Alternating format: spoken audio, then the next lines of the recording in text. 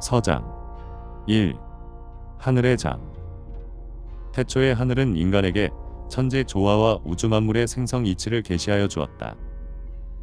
천지 창조와 만물 생멸의 원리 하늘과 땅의 흐름과 조화, 그리고 이를 연결하는 통로인 인체의 신비에 대하여 무국 일원 음양 삼재 사상 오행 육합 칠성 팔괴 구궁 태극으로 대변되는 무궁무진한 하늘의 이치를 그리고 그것은 천부경이라는 신비경전에 수록되어 현재까지 전해 내려오니 그 심오한 진리를 얻는 자는 능히 신의 반열에 오를 수 있을 것이다. 하지만 단지 여든한 자로 함축시킨 하늘의 이치를 탐욕과 아집으로 뭉쳐진 인간으로서 어찌 쉽게 해석할 수 있겠는가? 그래서 그런지 1만여 년 인류 역사상 이러한 천부경을 해석한 사람은 단 한 사람에 불과했으니 그는 바로 신실을 열어 이 땅의 최초의 왕국을 건설한 환웅천재의 아들 당군왕검이었다. 그는 당시 천부경을 해득한 후 곧바로 신의 반열에 올랐으나 그 뜻이 너무나 심오해 과연 후세에서 이를 해석할 수 있는 사람이 있을까 걱정하여 이에 대한 주해설을 남겼다. 이름하여 천보외경. 그러나 이러한 천보외경은 그 후 당군조 선고구려 발해로 이어지는 적통 왕가에만 비밀리 전해 내려오다 마침내 해동성국 발해의 멸망과 함께 행방불명이 되어버렸으니 극히 소수 인원 외에는 당금에 이르러 과연 그러한 경전이 있었는지 하는 사실을 알지 못하게 되었다. 하지만 이러한 인간들의 기억과는 상관없 이 천부외경은 어딘가에서 인연자를 기다리고 있었다. 이 땅의 장 18만리 검정중원 풍운의 대지 중원에는 항상 두 개의 세계가 공존하고 있었다. 스스로 하늘의 아들이라 칭하는 황제와 그가 만든 법이지 대하는 세계와 오직 강한 것만이 법 이호정이 인 강호 무림 세계가 이들 두 개의 세계는 비록 중원 대륙이라 능 같은 지역을 대상으로 하고 있었지만 서로 독자성을 가지고 불간섭 불계 입을 원칙으로 나뉘어 져 있었다. 황제의 힘이 아무리 거대하다 할지라도 18만리에 이르는 중원 구석구석까지 모두 미칠 수가 없었고 강호무림의 힘이 아무리 강력하다 할지라도 황제가 이끄는 수백만 대군을 당해낼 수 없었기 때문이다. 물론 이들 두 개의 세계는 같은 지역 같은 사람들을 대상으로 하기 때문에 완전 분리는 불가능했으며 서로가 서로에게 끊임없이 영향력을 미치며 상호작용을 할 수밖에 없었다. 하지만 그럼에도 불구하고 강호무림이 형성된 천여년 이래 서로 간 독자성을 인정해주는 기본 원칙만은 아직 깨어지지 않고 있었다. 황제가 지배하는 세계 크고 광활했으며 수천만에 이르는 무수한 사람들이 그 세계에 속하고 있었다. 그러나 그곳은 모든 게 정연하였다. 황법을 중심으로 황제는 항상 권력의 핵심에 있었고 지배층과 피지배층 귀족과 평민 그리고 노예계층이 엄격히 구별되어 있었다.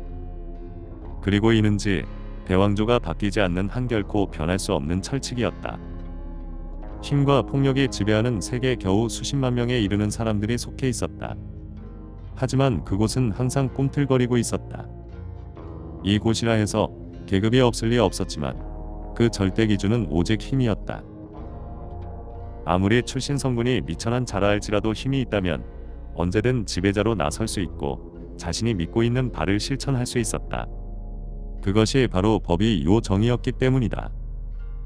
당연히 피 끓는 젊은이들은 이러한 강호세 개의 매력을 느낄 수밖에 없었다. 그리고 지금 이 순간에도 수많은 젊은이들이 이의 지배자로 나서기 위해 뜨거운 야망을 불태우고 있었다. 3. 인간의 장풍운 일지 대명 2년 1370년 3월 5일 드디어 중원무림인들이 그토록 염원하던 중원무림맹이 결성되었다. 구파일방과 오대세가를 포함한 백도 280개 방파와 중원마교 홍패부 사사천교 등 흑도 360개 방파 그리고 농림 72채 장강수로방 청해건문 청조각 등 중도파 170개 방파에 무산 신념은 남해보타함 북해신궁 등은 1세력까지 총 망라된 사상 초유의 동맹이 결성된 것이다. 과연 천년 무림사에 이와 같은 일이 언제 있었던가? 절대로 화합할 수 없다던 흑도와 백도가 하나로 뭉쳤고 여기에 농림과 은일 세력들까지 가세하여 두니 이들의 힘은 가히 중원무림 그 자체라 해도 무방할 것이다. 대명 2년 1370년 3월 12일 3월 보름 이날은 무림사의 가장 중요한 날로 기억될 것이다. 200여 년 이상 강호무림을 지배하였던 천마무림년 그리고 당대 최고의 강자 천라한이 이 지상에서 영원히 사라지고 가장 길었던 암흑시대가 끝나는 날짜이기 때문이다. 이제 모든 준비는 끝났다. 오직 기다림과 용투야의 혈전만 남아있을 뿐. 대명 2년 1370년 3월 18일 대승리다.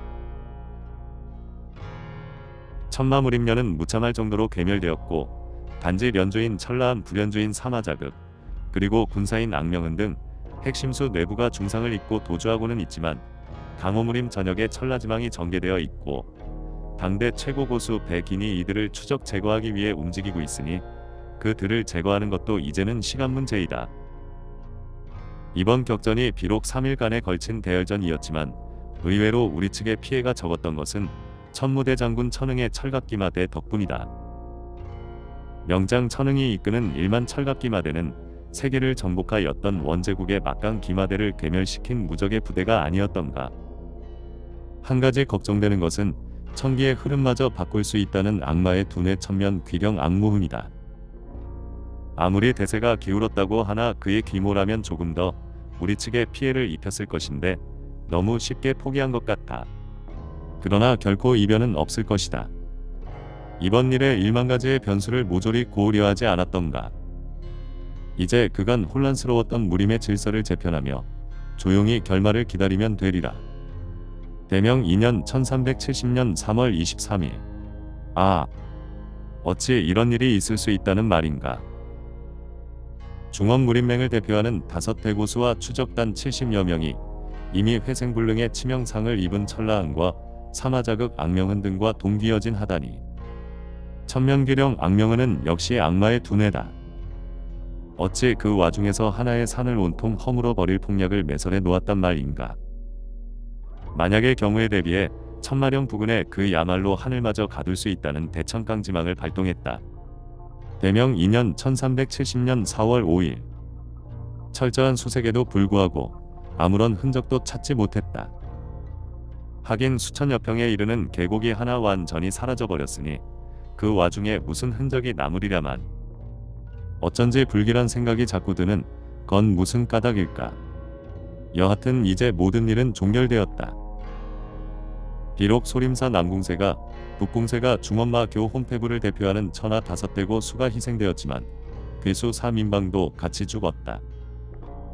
단지 하나 천라한의 여동생이자 악명은의 처인 천마지와 찰극무연이 그의 씨를 잉태하고 실종된 것이 마음에 걸리지만 서로 그녀가 살아있다 할지라도 이미 중원무림이 하나가 되었고 그들의 최대 후원 세력인 원제국이 일패도제하고 있으니 무슨 힘을 발휘할 수 있으랴. 이제 나도 좀 쉬어야겠다. 너무나 많은 피를 봤다. 대명 2년 1370년 10월 2일 드디어 대도가 함락되고 원제국이 북방으로 완전히 물러났다. 이제는 중원대륙에는 다시 평화와 태평성 대가 올 것이다. 대명 2년 1370년 11월 11일 북공세가의 새로운 가주로 취임한 북공소의 생일잔치에 초대받아 참으로 오랜만에 중원 나들이를 했다. 그런데 그처럼 기쁜 날에 그의 부인이 상고 끝에 죽고야 말다니. 그야말로 알 수 없는 게 우리 인간사인 모양이다. 하늘에 있는 북공후 그 친구가 쉽게 눈을 감을 수 있을련지. 천생무골이었지만 단순하고 어리석은 아들 때문에 노심초사하다가 현명한 며느리를 맞아 한시름 놓는 것 같더니만. 그의 감효에 흘기채 마르기도 전에 이번에는 자식을 잘 내조하던 며느리를 잃다니. 다행인 점은 그래도 그녀가 낳은 아들은 무사하다는 것이다. 자세히 보지는 못했지만 천년 북공세가의 후세답게 인쇄해 보기 듬은 무골인 것 같다. 대명 2년 1370년 11월 12일 북궁소의 간청을 뿌리치고 북궁세가를 벗어났다. 북궁 후 그 친구를 생각하면 그의 아들을 도와주어야 한다는 생각도 들었지만 이 나이에 다시 강호무림에 발을 적 씌어야 된다는 사실이 싫었다. 나의 중리면으로 돌아오는 동안 내내 한 여인의 얼굴이 머릿속을 맴돌았다. 북궁소 그 아이의 옆에 있던 30대의 그 여인이 단지 유머에 불과하다는 그 여인에게 자꾸 신경이 쓰이는 것은 무슨 까닭일까? 신분에 어울리지 않는 미모와 기품, 그리고 기이한 기운 때문인 것이 아닌가 싶다. 4. 잉태 한 사람이 죽고 한 개의 장원이 소멸되었다.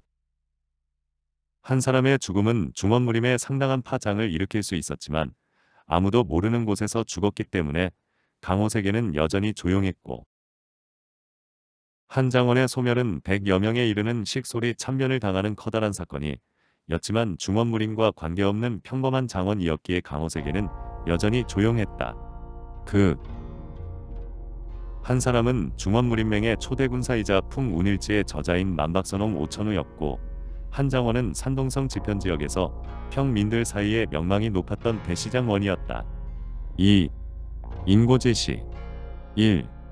폭설 평민 출신으로 일약 황제의 직위까지 오른 시대의 풍우나 주원장 그가 사상 최대의 영토를 자랑하던 막강 대원제국을 중원에서 축출하고 대명을 건설한 지 4년여 대륙을 강타하던 풍우는 서서히 잦아들고 있었지만 그 불심화는 아직 꺼지지 않았다. 대명 홍무 4년 1374년 정월원단 중원 천지에는 갑자기 폭설과 한파가 몰아치기 시작했다. 하늘과 땅이 온통 하얀 눈으로 덮이고 칼끝처럼 날카로운 사풍이 대지를 갈기갈기 찢어온 지 3일.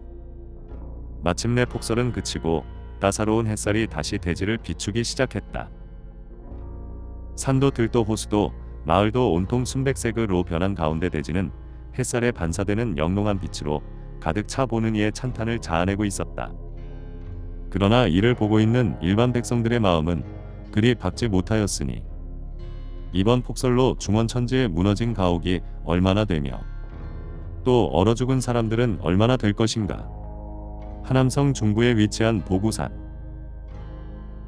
3일에 걸친 폭설로 역시 보이는 건 온통 흰색 일색으로 그동안 굶주렸던 산짐승 몇 마리만 먹이를 찾아 나설 뿐 인 적이 완전히 끊긴 이 조용한 대지의 정막을 뚫고 한 사내가 나타났다. 한 30대 후반쯤이나 되었을까. 훤칠한 키의 은연중 고귀한 기품을 풍기고 있는 이 사내는 그러나 마치 중병이라도 걸린 듯 창백한 안색에 가끔씩 심한 기침을 해대는 가운데 가슴에 한 세 살쯤 되어 보이는 아이를 안고 있었다. 과연 무슨 사연이 있길래 병이 든 몸으로 그것도 세 살박이 어린애를 안고 정초부터 이 깊은 산중을 헤매고 있는지 사내는 외로운 상기슬글 마치 숙명처럼 걷고 있었다. 그리고 그의 뒤를 따라 시간이 물처럼 흐르고 있었다. 백사회 상류천당 하유소헌 하늘에는 극락이 땅에는 소주와 항주가 있다. 바로 송나라의 천재시인 소동파가 항주의 아름다움을 극찬한 글로서 그만큼 항주는 산과 바다 그리고 강과 호수 등이 어울려 있는 천하절경을 자랑하고 있었다. 특히 양자강의 지류인 전당강 이 흘러들어와 형성된 서호는 삼면이 산으로 둘러싸여 있으며 도화, 홍련, 국화, 매화 등 갖가지 꽃들이 사시사철 피어나 가히 성경을 방불케 하였던 것이다. 제한비 비만화제 서원학 조연함이 쌍봉사 분신 비경 평호쌍월 징객심 안개비 내리는 제 방에는 수많은 꽃들이 피어 있고 서호의 저녁 노을은 그림처럼 아름답다. 구름에 꽂혀 있는 봉우리는 화롤경을 연출하고 하늘과 호수의 두 개의 달이 외로운 나그 내의 심금을 울린다. 현무는 호심정에 홀로 서서 서호의 낙조를 바라보고 있었다. 총기 있는 눈빛과 강인해 보이는 용모 짙은 흑색 경장과 흑색 영웅건 특히 그의 허리에는 매어 있는 붉은 수실의 검은 가히 강호 영웅의 풍도를 짐작해 하고 있었다. 휴. 문득 그의 입에서는 깊은 한숨이 터져 나왔다. 아직 약관도 되지 않은 젊은 나이 당연히 서우의 절경을 보고 아름다운 감상에 젖어들어야 하겠지만 무슨 고민이 있는지 그의 한숨은 짙은 회한의 염을 담고 있었다.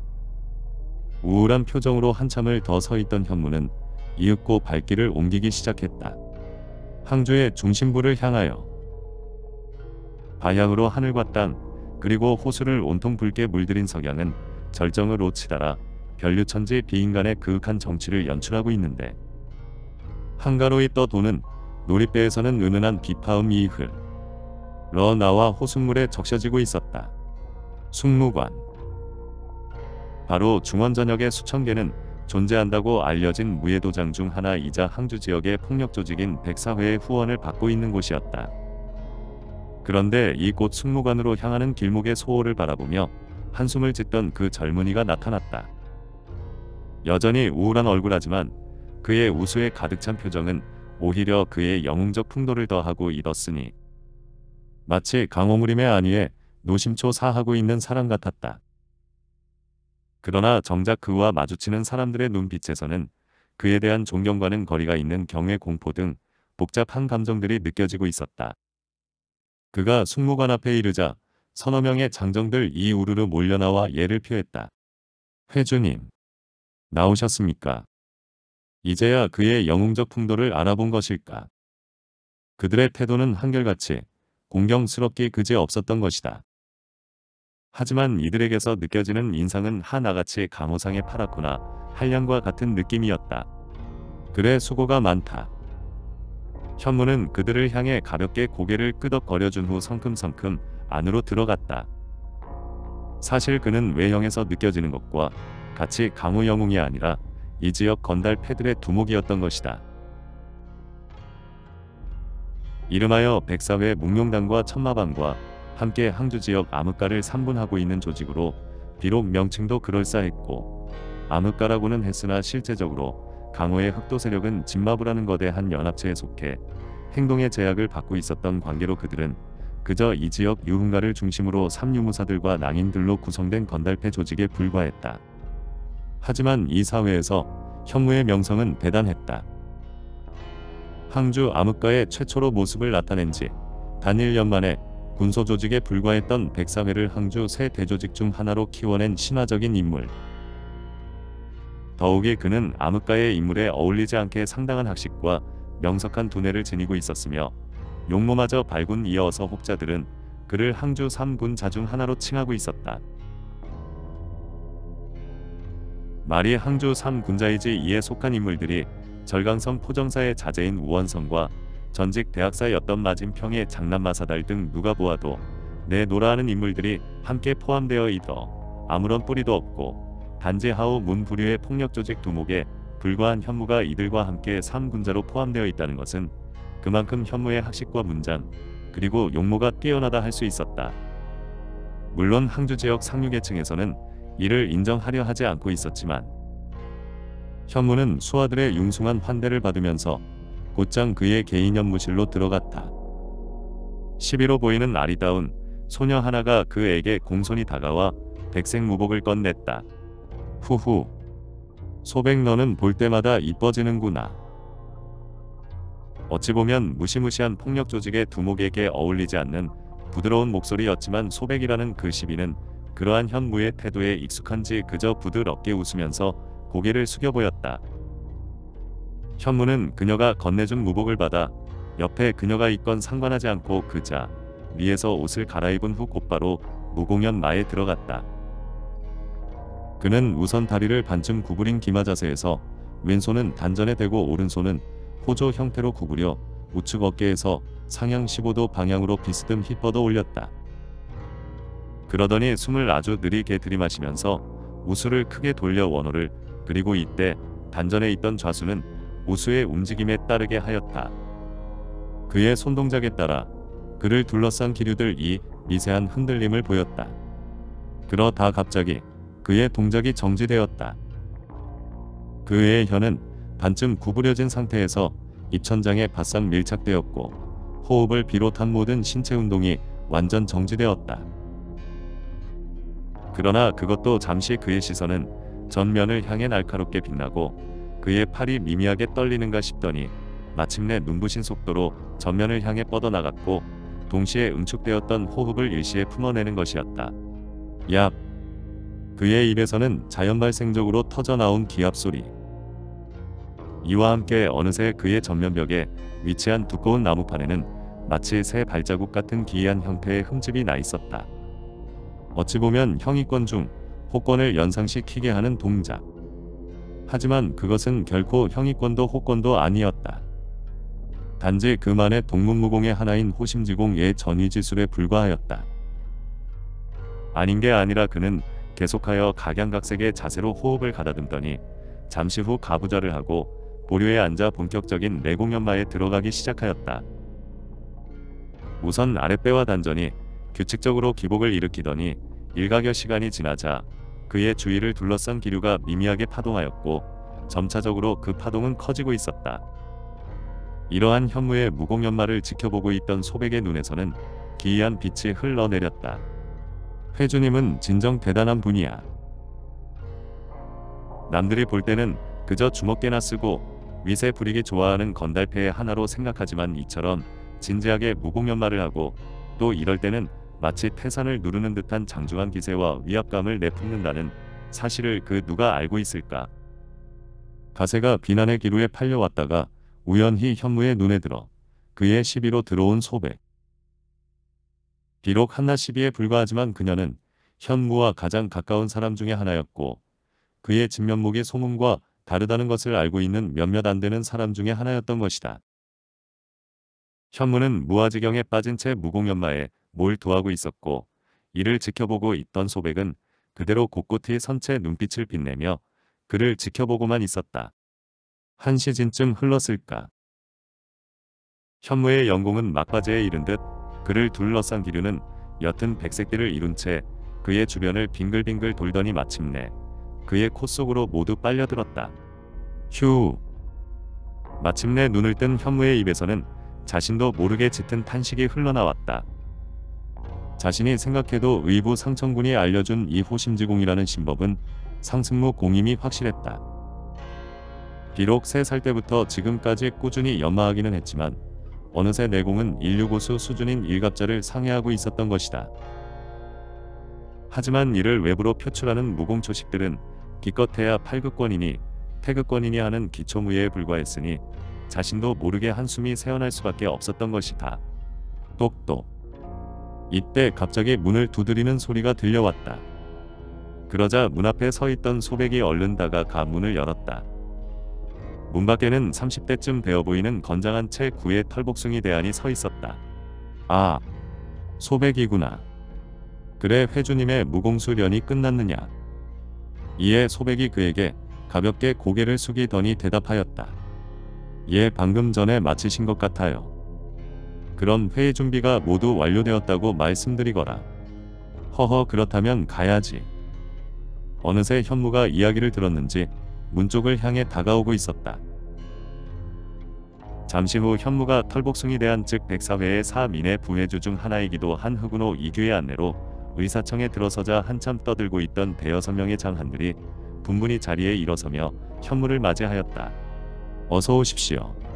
회주. 그래 모두들 잘 있었나. 모처럼 한자리에 모이게 된 것 같군. 하하 그새 회주님은 더욱 멋있어진 것 같습니다. 현무의 눈길이 소리를 쫓아갔다. 20대 후반쯤 되었을까. 대부분의 인물들과는 다르게 인물도 준수하였고 호리호리한 체격의 문사 차림을 하고 있었다. 현무의 입가에 기분 좋은 미소가 서렸다.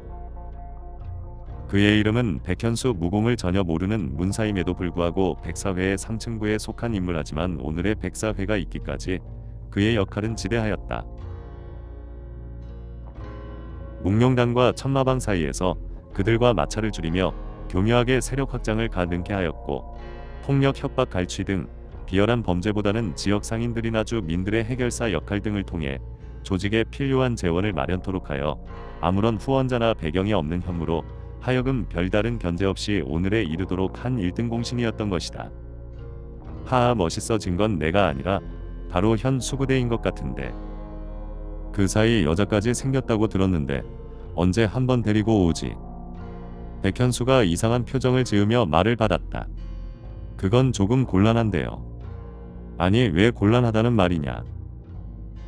회주님이야 이 항주 땅에서도 명성이 자자한 삼군자 중 하나이며 반반한 여인이라면 그냥 지나치지 않는 분이 아닙니까? 차라리 고양이에게 생선을 맡기고 말지. 어, 이것 봐라. 그래도 명색이 회주인데 이제 노골적으로 모함을 하네. 야 임마. 내가 언제 그랬단 말인가. 참네. 전부들 물어보시오. 제가 빈말을 하나. 그제서야 현무는 머리를 극적이며 기세가 수그러졌다. 다른 사람들에게 물어봤자 뻔히 백현수의 말을 수긍할 것이 분명했다. 후후 그런가. 하긴 나도 장담할 수 없지.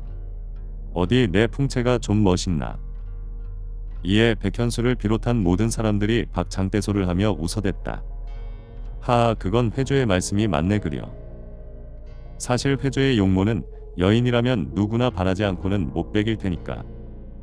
잠시 후 웃음이 가라앉자 현무가 중앙의 좌석에 가서 앉았다. 그러자 좌중은 언제 웃고 떠들었냐는 듯 정숙을 되찾았다.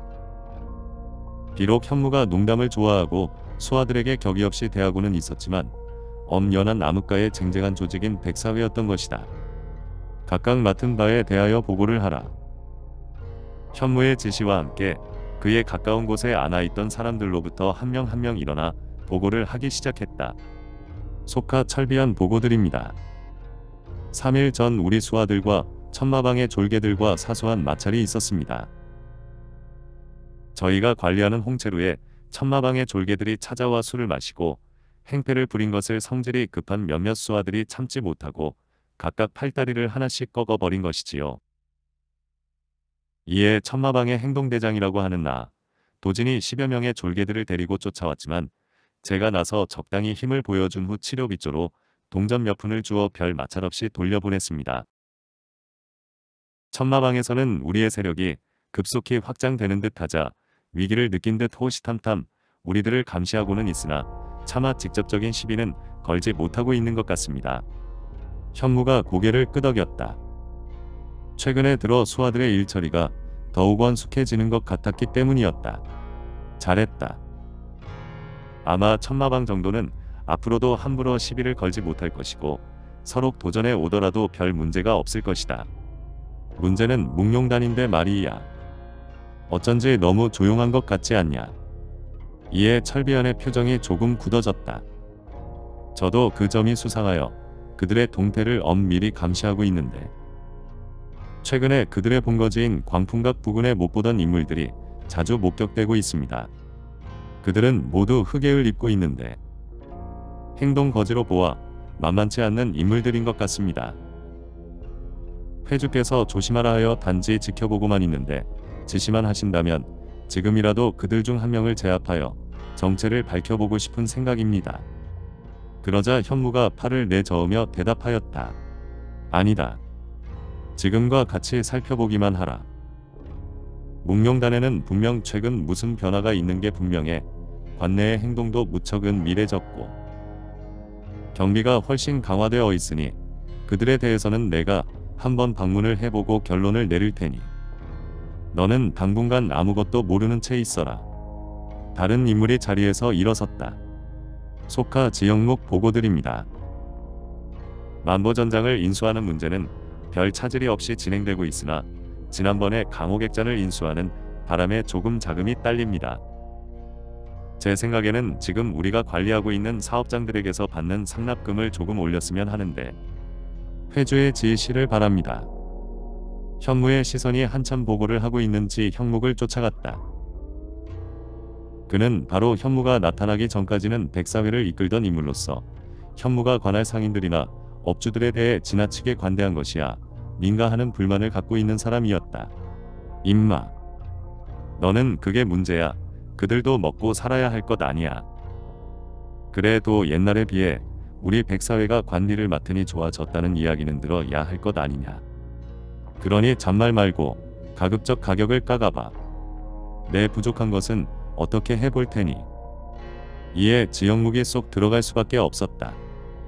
이미 현무의 운영 방식에 진즉 승복했던 그였다. 이번에는 백현수가 자리에서 일어섰다. 무공교도를 초빙하는 문제는 잘 되었습니다.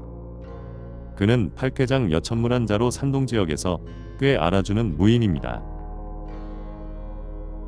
어렸을 적 화산파에 속가 제자로 입문하여 매화장법을 익혔고 화산파와 인연을 끊은 후 매화장법을 사용 못하게 되자 이를 바탕으로 팔쾌장을 창안하였으며 검이나 도 창 등 18반 무예에도 일가견이 있어 금궁교두로도 초빙하려 한 사람인데 이번에 제가 설복할 수 있었습니다.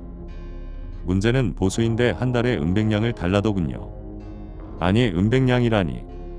그놈 미친놈 아니야. 백현수의 이야기를 듣고 있던 사람들이 일제히 불만을 터뜨렸다.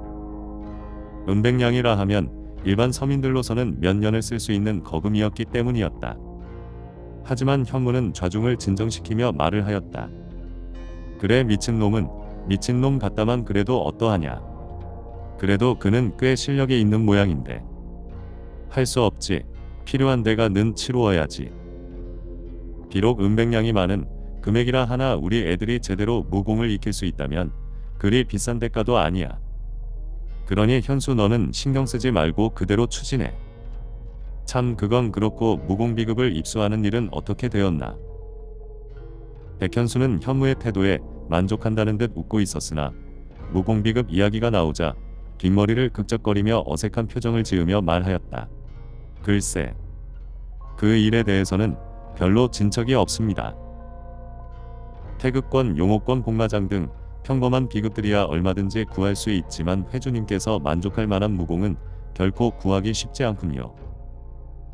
이에 현무는 조금 실망스러운 표정을 지어두나 곧이어 쌩끗 웃으며 백현수의 어깨를 툭툭 치며 괜찮다는 태도를 취했다. 하하 할 수 없지. 까짓 거 그런 것 없더라도 상관없어. 이러한 말을 하는 현무의 내리 속으로 순간 자신이 무공을 배우기 위해 천하를 떠돌던 과거가 떠올랐다. 14세의 어린 나이로 강호를 떠돌면서 아무런 배경이 없는 자신으로서 출세할 수 있는 유일한 길이 무공연마임을 깨달았고 그 후로부터 무수한 문파의 문을 두드려 보았지만 결과는 차가운 거절뿐이었던 것이다. 하다못해 거짓 차림으로 거식을 하며 개방에도 입문하여 보았지만 죽도록 심부름만 하고 얻은 무공은 말 그대로 개를 쫓는데 이외에는 전혀 소용이 없는 타구봉법의 기수식 그것도 단지 흉내 정도나 내는데 불과했었으니 새삼스럽게 무림명 문들의 높은 벽만을 통감했을 뿐이었다. 물론 그로서도 기회는 있었다. 유일하게 중원의 모든 청년들에게 차별 없이 입문 자격을 주던 소리마원에 입문하려다 권장술의 기초를 측정하는 관문에서 탈락한 것이 그 첫 번째 기회였으며 3년 전쯤 우연히 한 곱상하게 생긴 소년을 만났고 마침 그가 시리에 빠져 있던 그에게 정무공을 배우고 싶으면 남궁세가로 찾아오라고 하며 자신의 이름이 남궁수라고까지 밝힌 적이 있었는데 우선 상대방이 달카나 잡을 수 없을 정도로 연약하게 생긴 소년이었고 또한 무림명문들의 높은 벽에 짙은 절망감의 울분을 느끼고 있던 터라 그 말을 믿을 수 없어 이를 무시해 버렸던 것이다. 차후 실제로 무림의 남궁수라는 남궁세가 의 후예가 주유하고 있다는 소문을 듣고 아차하는 심정이었지만 그때는 이미 자신이 백사회에 몸담고 없기에 결국 포기했던 경험이 있었던 것이다. 만일 내가 그때 남궁세가에 들어갔었다면 지금쯤은 그래도 상당한 무공을 익힐 수 있었을 텐데 또 모르지 벌써 강호 협객이 되어 있을지도. 현무가 이처럼 과거를 회상하고 있는 사이 이미 회의에 참석했던 수하들은 모두들 나가버리고 그의 주변에는 백현수만 홀로 남아 있었다. 현무는 자신의 얼굴을 물끄러미 바라보고 있는 백현수를 보고 어색하게 웃었다. 허허 모두들 가버렸군. 이미 모든 보고도 끝났고 또 회주께서 지시할 사항도 모두 마치신 것 같아 일단 돌려보냈습니다. 그래 잘했다 잘했어. 이젠 시키지 않아도 잘하는군. 백현수가 의미심장한 표정으로 현무를 바라보며 말을 이었다. 무릇듯이 큰 사람은 생각이 많은 법이지요. 난 가끔씩 회주께서 이처럼 백사회라는 군소 조직의 두목으로 눌러 앉을 사람이 아니란 생각이 듭니다. 지금은 저희들과 함께 있지만 언젠가는 훌훌 떠나고 말 것이라고. 백현수의 이야기에 전국을 찔렸음일까. 현무 역시 백현수를 이윽고 바라보았다. 어찌 보면 그는 백사회에서 유일하게 현무와 말이 통하는 친구와 같은 존재였다. 하지만 그는 이내 씁쓸하게 웃으며 고개를 저었다. 후후 뜻만 크면 무얼 하냐. 현실이 따라주지 않는 걸. 잡을 수 없는 꿈에 매여 인생을 허비하기보다는 지금 이 생활도 그런대로 괜찮아. 뜻이 맞는 사람들이 있고 술과 여인이 있으니 어찌 보면 대명 황제도 나를 부러워할 것이야. 그것보다 너야말로 백사회와는 어울리지 않아. 하하 그럴지도 모르지요. 하지만 회주가 있는 백사회가 어디 폭력 조직입니까? 행동은 거칠지만 외로운 사람들끼리 모여 서로 정을 나누는 저는 중원천하에 우리 백사회만큼 의리가 있고 정이 있는 단체가 드물 것으로 생각합니다. 비록 외부에서는 손가락질을 한다 할지라도 현무가 백현수의 손을 굳게 잡았다. 그렇다. 이 이외에 더 이상 무엇이 필요하다는 말인가? 한때는 야망을 위해 물불을 가리지 않았고 이 때문에 죽고 싶었던 적도 많았지만 비록 천하를 향해 마음껏 뜻을 펴지는 못하지만 이것도 사나이로서 그리 나쁜 산만은 아니지 않겠는가. 사실 현무는 마치 생각도 없는 사람인 양 거리낌 없이 마구 행동하고는 있었지만 그래도 가슴 속에는 생각이 많은 사람이었다. 어찌 보면 가슴 속에 응어리가 유난히 많아 그저 가벼운 행동으로 이를 덮고 있는 것 같았다. 더욱이 그는 그 누구보다 꿈이 컸고 뜨거운 피를 지니고 있는 사람이었던 것이다. 이러한 현무의 모습을 지켜보던 백현수는 그의 마음을 충분히 짐작한다는 듯이 의미심장한 미소를 띄우다가 문득 생각난 듯 입을 열었다. 참 회주 명일은 우리 백사회가 다시 시작한 지 꼭 1년째 되는 날입니다. 어떻습니까? 연애라도 베풀어 이를 자축하고 수아들의 사기를 돋구어 주심이 이에 현무는 서슴없이 고개를 끄덕거렸다. 참 벌써 그렇게 되었군. 좋다. 그렇다면 아예 서울의 기루를 통째로 빌려 잔치를 하지. 하하 그러신다면 수아들도 모두들 좋아할 것입니다. 백현수의 입가에 밝은 미소가 떠올랐다. 연회의 끝. 서호루. 소호의 그림 같은 풍경이 한눈에 내려다 보이는 거대한 주루경 객잔으로 항주의 대표적인 무각 중의 하나였다. 특히 이곳은 주로 객잔기로 도박장 등 이 종합적으로 완비된 곳으로 주루와 객잔은 풍광이 좋은 소호 호안에 위치하게끔 하여 고급 손님들을 유치토록 하고 기루와 도박장은 상대적으로 아늑한 안쪽에 설치하여 강호의 호걸들이나 한량들이 비교적 자유롭게 이용할 수 있도록 하였다. 때는 술시 무렵 서울의 안쪽에 위치한 기루에는 건장한 대한들이 삼삼오오 모여들고 곱게 단장한 기녀들이 입구에서부터 이들을 환영하고 있었다. 하하하 소홍. 정말 오랜만이구나. 그동안 이 오래비가 보고 싶어 어떻게 지냈느냐. 호호호 어서 오세요. 요즘 백사회가 한참 잘 나간다는데 이곳에는 콧뱅이도 비치지 않으니 그동안 변하셨나봐. 허허 나라에서 왜 너처럼 어여쁜 계집을 보기 싫겠느냐. 하지만 회주께서 기로와 도박장 출입을 금지시켰으니 어쩌겠느냐. 그들은 바로 백사회의 조직원들이었던 것이다. 백사회 재건 1주년을 맞아 전날 백수연이 현무에게 연애를 건의하였고 이 애 현무는 비록 자금이 딸리는 상황이었으나 그동안 금욕생활을 강요했던 수아들의 마음도 달래줄 겸 해서 이러한 잔치를 연 것이었다. 잠시 후 건 300여 명에 이르는 백사회 조 직원들이 모두들 자리 잡고 있는 가운데 현무가 기로 안으로 들어섰다. 좌중에 여기저기 흩어져 있던 사람들이 일제히 일어나 현무에게 예를 표하였다. 회주를 뵙습니다. 이에 현무는 가볍게 손을 흔들어 그들의 예에 답한 후 부드러운 미소와 함께 좌중을 쓸어보았다. 하하 모두들 안색이 좋은 것 같구만. 연애에서까지 내 긴 말을 할 생각은 없고 그저 오늘은 뜻깊은 날이니 모두들 마음껏 들고 마음껏 즐기라. 현무의 간단한 인사말이 있은 후 곧바로 연애가 시작되었다. 백사회로서는 유일한 기념일이니 만큼 장황한 절차나 포상 등이 있을 법도 학원만 형식을 싫어하는 현무의 성격에 맞추어 곧바로 부어라 마셔라 하는 질퍽한 분 위기로 빠져 들어가기 시작했다. 와. 백사회의 끝없는 발전을 위하여 회주님의 건강과 용맹정진을 위하여 현무가 커다란 술통을 들고 자리에서 일어났다.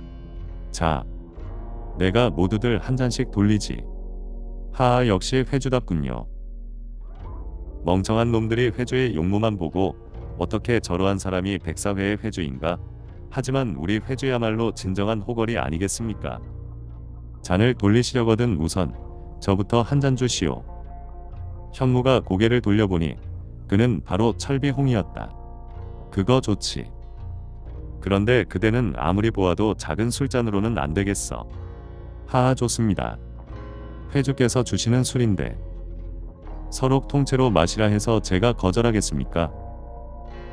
현무는 조그마한 술잔을 던져버리고는 커다란 사발을 하나 가져오게 하여 그곳에 술을 가득 따라 철비홍에게 건넸다.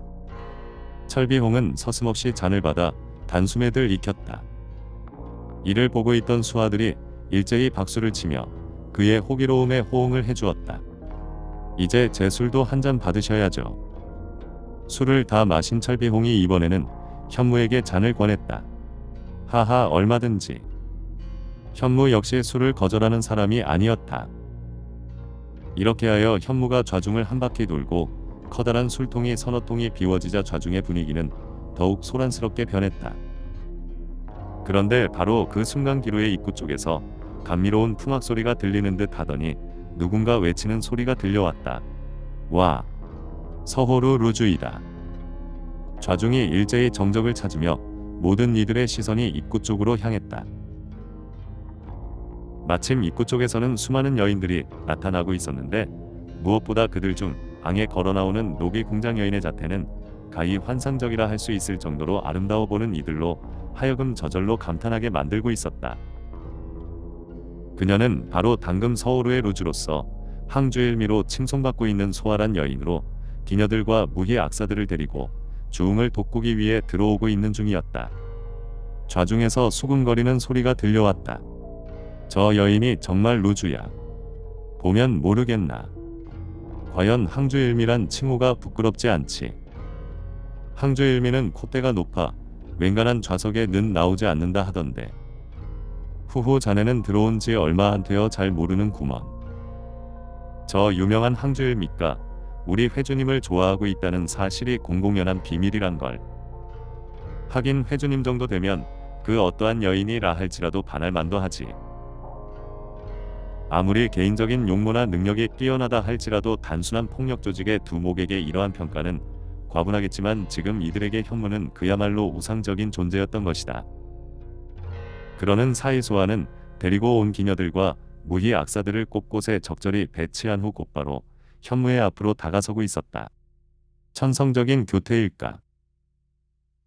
그녀의 전신에서는 폭발적인 매력이 품어 나오고 있었고 현무를 향해 생긋 웃는 모습은 은은한 조명 아래 그야말로 천상의 선녀가 하강한 듯한 느낌을 주고 있었다. 호호 오랜만이군요. 무에 그리 바쁘다고 그처럼 얼굴 보기 어려우니. 화사한 미소를 머금고 있었지만 어쩐지 원망하는 듯한 말투. 이에 현무의 입가에도 조금은 개면적으면 서도 정겨운 미소가 그려졌다. 하하 그러고 보니 정말 오랜만이군. 그동안 별일 없었나. 소아는 마침 현무의 수아들이 마련해준 현무의 옆자리에 앉으면서 그를 가볍게 흘겨보았다. 결코 밉지 않는 눈초리였다. 글쎄요. 별일이야 있겠어요. 단지 보고 싶은 사람이 자주 찾아주지 않아 속상할 뿐. 기루의 주인으로서 손님에게 이야기할 수 있는 일반적인 표현이라 할 수 있었다. 하지만 평소 그녀의 성격을 잘 아는 현무로서는 그리 태연할 수만 없었다. 아무리 기루까지 갖춘 서울의 루즈였지만 그녀가 술자석에 얼굴을 보이는 경우는 거의 드문 것이었고 서로 얼굴을 보였다 할지라도 그저 인사 정도나 할 뿐이었기 때문이다. 하지만 현무는 자신의 이러한 마음을 내색하지 않은 채 그저 농담으로 그녀의 말을 받았다. 하하 루즈와 같은 재색을 경비한 가인 이 날을 기다렸다니. 사실 믿기지는 않지만 그래도 기분은 좋군. 그러나 소아는 여전히 기이한 눈빛으로 현무를 바라보고 있었다. 정말 기분이 좋긴 좋은 건가요? 그럼 세상에 그 어떤 사내가 기분이 좋지 않겠나? 후후 그러면 됐어요. 현공자께서 최소한 소녀를 싫어하지는 않으시니 이제 소녀가 한 잔 따라 올리죠. 소아는 술병을 잡아 현무의 잔에 술을 따랐다. 그녀의 아름다운 눈빛은 여전히 현무를 향하고 있었으며 미묘한 열기까지 품고 있었다. 그러나 그녀의 술을 받는 현무의 마음은 조금 복잡했다. 아름다운 미인의 애정 표현. 분명 싫은 것은 아니었으나 동시에 부담이 느껴졌다. 그라에서 왜 여인이 싫겠는가? 더욱이 그는 수하들이 모두 인정하는 것처럼 주변에 많은 여인들이 따랐고 또 그의 행동도 그리 거침이 없었다. 하지만 현무는 소하에게만은 그럴 수 없었으니 그녀처럼 아름답고 순결한 여인의 애정은 아직 현무로서는 받을 만한 준비가 되어 있지 않았던 것이다. 아무 것에도 얽매이지 않는 철저한 자유인을 지향하는 그의 의지 더욱이 그는 비록 안 정되어 가고는 있지만 내일을 기약할 수 없는 것인 세계에 속해 있었던 것이다. 하지만 그의 이러한 생각은 더 이상 이어질 수 없었으니 갑자기 와, 와 하는 커다란 함성 소리와 함께 기루의 문이 박살나며 화살을 비롯한 수많은 암기들이 장내를 향해 덮쳐왔다. 으, 이게 웬 변이냐? 으허, 모두들 피해라. 한참 술을 마시며 무이들의 춤을 감상하고 있던 백사회 조직원들은 갑작스런 상황에 기겁하며 놀라며 분분히 자리에서 일어나며 몸을 피하고 있었지만 문 쪽에 있던 수십 명의 조직원들이 비명을 지르며 그대로 쓰러져 버렸다. 현무가 그대로 몸을 솟구치며 커다랗게 소리를 질렀다. 당황하지 말라. 무기를 뽑고 대응을 갖추라. 그러나 이미 좌중은 거대한 혼란 속으로 빠져들고 있었다. 정문뿐만 아니라 모든 창문까지 뚫고 일제히 날라오는 무수한 암기들 더욱이 이 중에는 화시까지 포함되어 있어 장내 곳곳에 불길이 솟아오르고 시커먼 연기가 피어올라 시야를 가리고 있었다. 따라서 비록 일부 침착한 조직원들이 대열을 정비하려 했지만 기녀들이며 무희들이 비명을 지르며 우왕좌왕하는 터라 오히려 혼란만 부채질하는 꼴이 되어버렸다. 이에 현무는 다급하게 주위를 향해 소리쳤다. 비홍, 이규, 어디에 있는가? 길을 열어라. 일단 밖으로 나간다. 그와 함께 그의 신형은 그대로 우박처럼 쏟아지는 남기를 뚫고 주루의 정문을 향해 지쳐들고 있었다. 그의 전신에서는 복마장, 나한장 등 여러 가지 장법이 일갑자 공력을 바탕으로 폭풍처럼 쏟아지고 있었으며 어느새 철비홍 이규 등이 나타나 그의 뒤를 받쳐주었다.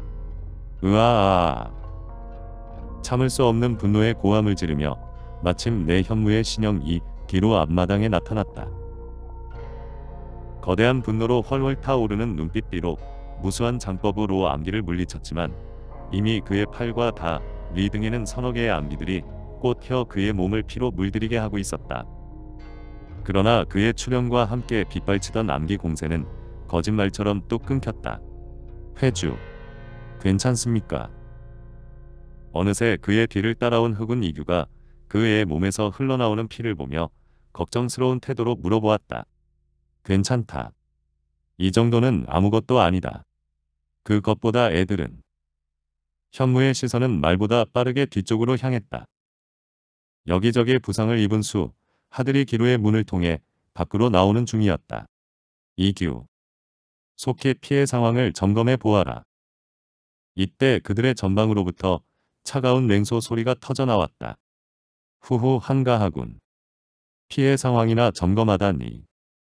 현무의 시선이 획 돌아갔다. 누구냐? 쥐새끼같이 숨어있지만 말고 나서라. 암중의 목소리가 더욱 차가워졌다. 흥 아직도 사태 파악을 제대로 하지 못하고 있군. 그리 안 해도 막 나서려는 참이다.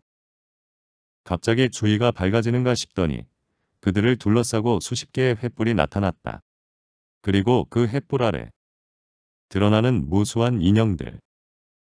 그들이 지닌 병장기들이 이글거리는 횃불에 비쳐 날카롭게 빛나고 있었다. 음, 바로 내 놈들이었구나. 묵룡단. 현무의 입에서 침음이 흘러나왔다.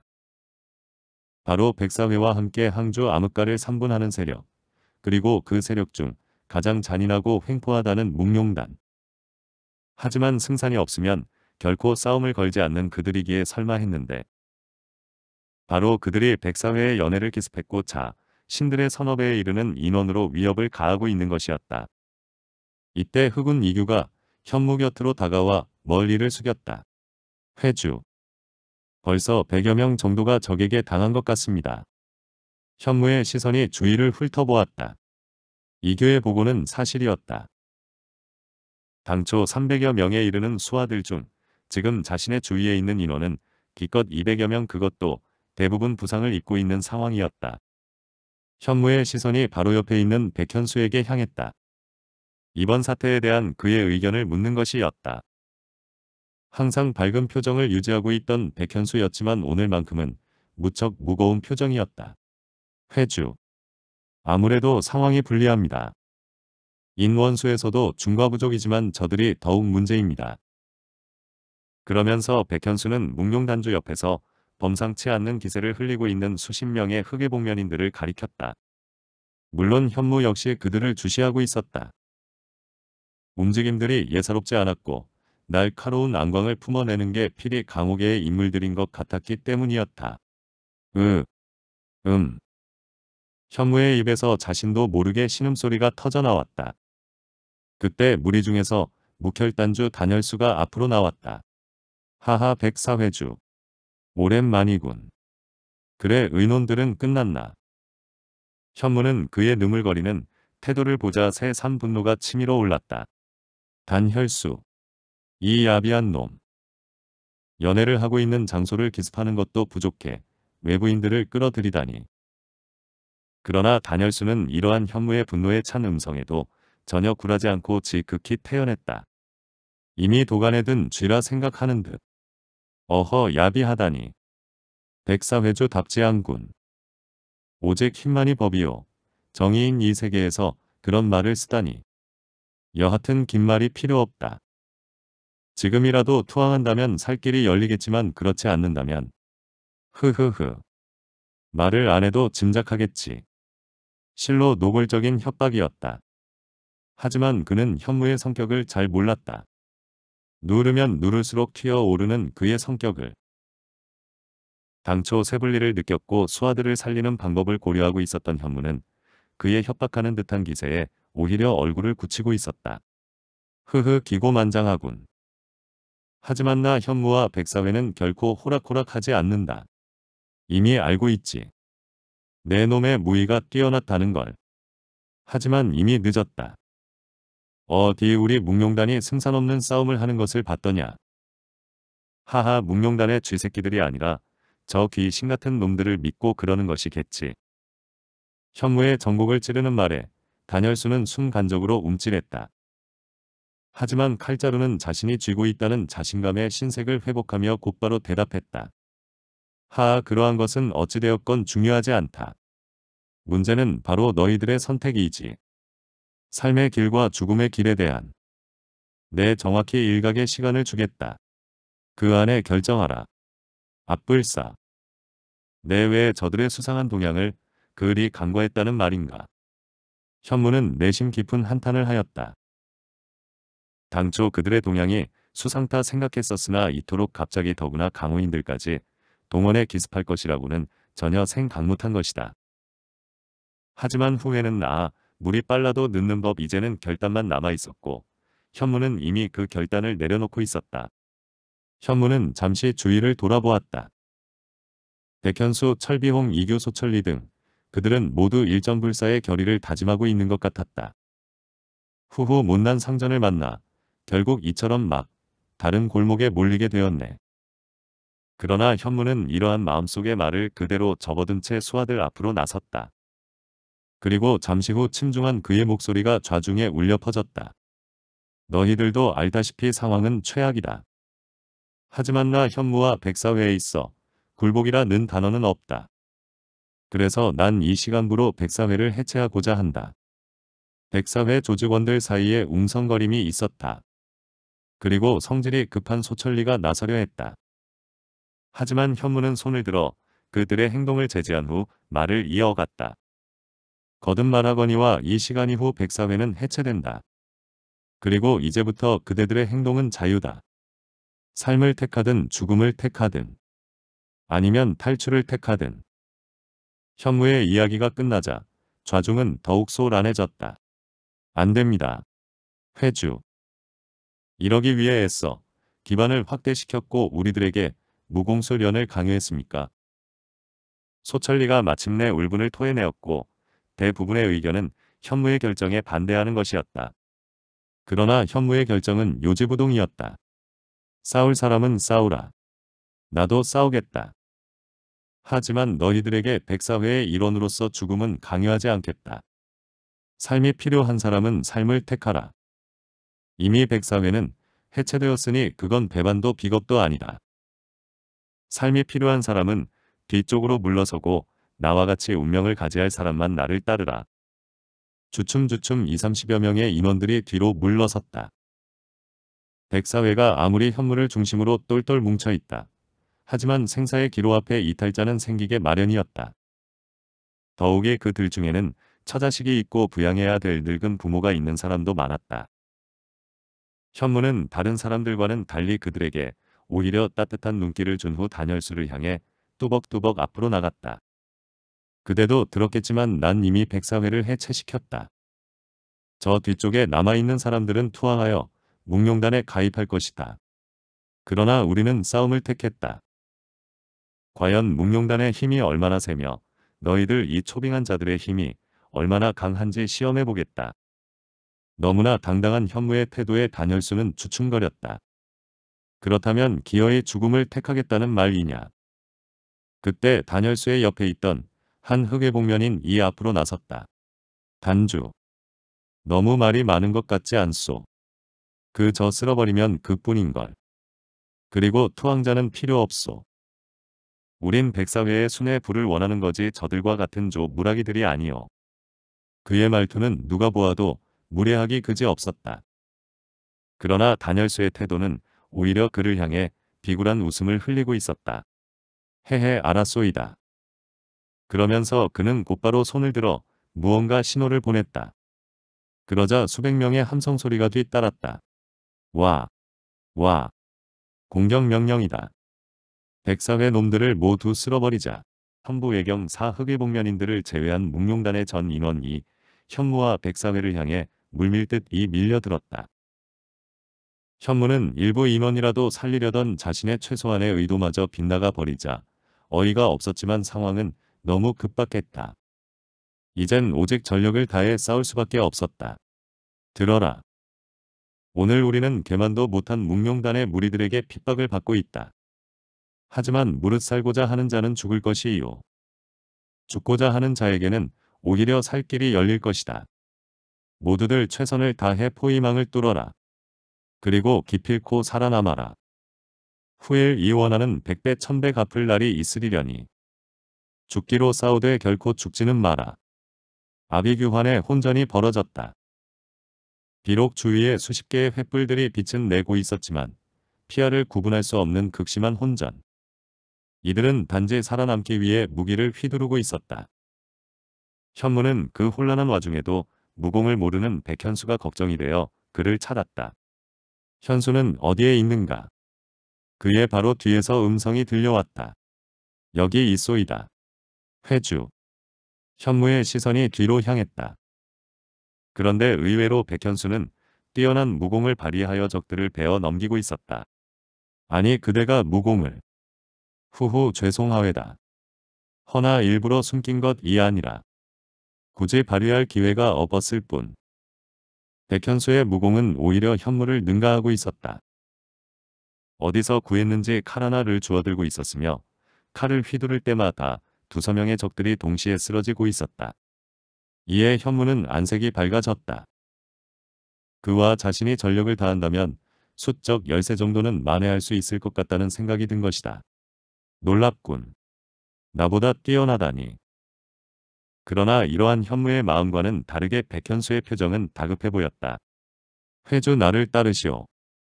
일단 이곳을 벗어 나야 합니다. 하아 그대가 있으니 한번 해볼만 하지 않겠나. 더욱이 수하들이 죽어가고 있는데 나만 탈출할 수는 없지. 물론 회주와 제가 힘을 합한다면 묵룡단의 무리들이야 처리할 수 있을 것이요. 하지만 그들을 지원하고 있는 흑의 복면인들은 바로 강호무사들이요. 그것도 상당한 실력들을 지닌. 물론 현무도 이러한 사실을 대강은 짐작하고 있었다. 강호무사들은 결코 단순한 건달패들과는 차원을 달리하는 자들인 것이다. 비록 자신에게 일갑자라는 놀라운 공력이 있으나 이를 운영할 수 있는 실전 법문이 없는 상황이었고 백현수가 뛰어난 무의를 보이고 있으나 진정한 강호인들과 상대한다면 상황은 달라질 것이기 때문이다. 하지만 그러면 그럴수록 현무는 더 더욱 수하들을 버리고 탈출할 수가 없었다. 그래서 그는 완강히 고개를 저었다. 나는 여기에 남겠다. 그러니 너만이라도 탈출하여 훈리를 도모하라. 그러는 사이 상황은 더욱 다급해지고 있었다. 백사회 조직원들이 그야말로 눈부신 투혼을 전개하고는 있었지만 수적으로 워낙 열세인 관계로 시간이 갈수록 전세는 기울어 가고 있었는데 이제는 흑의 복면인들까지 개입하기 시작한 것이다. 이에 백현수는 더욱 다급한 표정으로 현무에게 다시 말을 하였다. 회주. 다시 한번 생각해 보시오. 이대로 죽는 것은 그야말로 개죽음이요. 수아들도 회주가 같이 죽는 것보다 살아남아 복수해 주기를 원할 것이요. 현무는 대답 대신에 다시 한번 장래의 상황을 살펴보았다. 갖가지 부상에도 불구하고 눈부신 투혼을 발휘하는 수아들. 그러나 이미 흑의 복면인들의 개입이 시작되었고 그들 앞에는 투혼도 악착 같음도 아무런 소용이 없었다. 이제 단 한 명도 남지 않고 몰살하는 것은 기정사실 자신도 모르게 현무의 눈에서는 눈물이 흘러나오고 있었다. 시뻘건 혈루가 바로 회주인 그만 믿고 있던 사람들이 아닌가. 이러한 현무의 태도에 백현수는 더 이상 그를 설득할 생각을 버렸다. 결코 꺾일 고집이 아니었던 것이다. 정말 고집불통이군. 하지만 당신의 이러한 점이 바로 수아들을 하나로 따르게 했고 나 백현수를 이곳에 잡아두긴 했지만 그러나 당신은 이곳을 떠나야만 하오. 여기까지 생각한 백현수는 더 이상 지체하지 못하고 현무의 혼혈을 집었다. 으, 우훗. 갑작스런 백현수의 기습의 현무는 그만 백현수의 품에 쓰러지고 말았지만 그의 혈도를 점하던 백현수는 현무의 몸에서 자연 발생적으로 나오는 반탄력의 손가락이 부러지는 것 같았다. 하지만 그는 이를 상관하지 않고 그대로 현무를 들쳐업고 끈을 하나 꺼내어 현무와 자신의 사이를 단단히 묶었다. 그리고 주위에 다가드는 적을 하나 베어 넘긴 후 다급하게 소리쳤다. 비홍 이규 형묵은 어디에 있나? 마침 부근에 있던 철비홍과 이규가 적들을 물리치며 다가왔다. 형묵은 철비홍이 침울한 목소리로 대답했다. 그는 그만 쓰러지고 말았네. 그렇게 말하는 철비홍의 전신도 무수한 도상과 함께 피투성이 인체였다. 순간 백현수의 얼굴에 안타까운 표정이 스치고 지나갔다. 아, 아까운 사람. 그러나 그에게는 시간이 없었다. 그러한 백현수의 마음을 그들이 먼저 알아차렸다. 이제 가려는가? 그렇네. 내 목숨을 버려서라도 기필코 회주만은 살리고 말겠네. 그럼 어서 가게. 우리가 어떠하든 최대한 추격을 저지해 보겠네. 미안하네. 자네들만 남기고. 하하 우리들보다 자네가 더 고생할 것 아닌가. 저 지독한 놈들이 악착같 이 추격할 것을 생각하면. 철비홍과 이규의 지시에 따라 백사회 조 직원들의 저항이 갑자기 격렬해졌다. 팔다리 하나 정도 잘리는 것은 아예 상관도 하지 않았고 심장에 칼이 박히는 그 순간에도 악착같이 칼을 휘둘러댔다. 이에 묵룡당과 흑의복면인들의 공세도 잠시 주춤할 수밖에 없었다. 그리고 그 간극의 틈을 이용해 철비홍과 이규 소천리가 새방면으로 흩어져 각기 포위망을 뚫고 탈출하기 시작했다. 아, 저 자들이 탈출한다. 막아라. 비로소 눈치챈 묵룡당과 흑의복면인들 이 황급히 이들 3인을 막아섰다. 하지만 갑작스런 변화와 색방면에서 동시에 이루어진 일이라 이들의 대응은 혼란스러울 수밖에 없었다. 바로 그때 현무를 들쳐업은 백현수가 허공으로 몸을 날렸다. 그런데 그의 경공은 앞에 사민과 비교할 수가 없었다. 곧장 허공으로 3, 4장을 도약하는가 싶더니 눈 깜짝할 사이 혼전을 벌이고 있는 무리들을 넘어서는 것이었다. 와! 저 자가 백사회주를 데리고 탈출한다. 막아라. 다시 무리들 사이에 혼란이 일었고 비교적 몸이 빠른 흑의 복면인 수명이 백현수를 막으려 했지만 이미 그는 간발의 차이로 그들 사이를 스쳐 지나가 살아 오가고 있는 중이었다.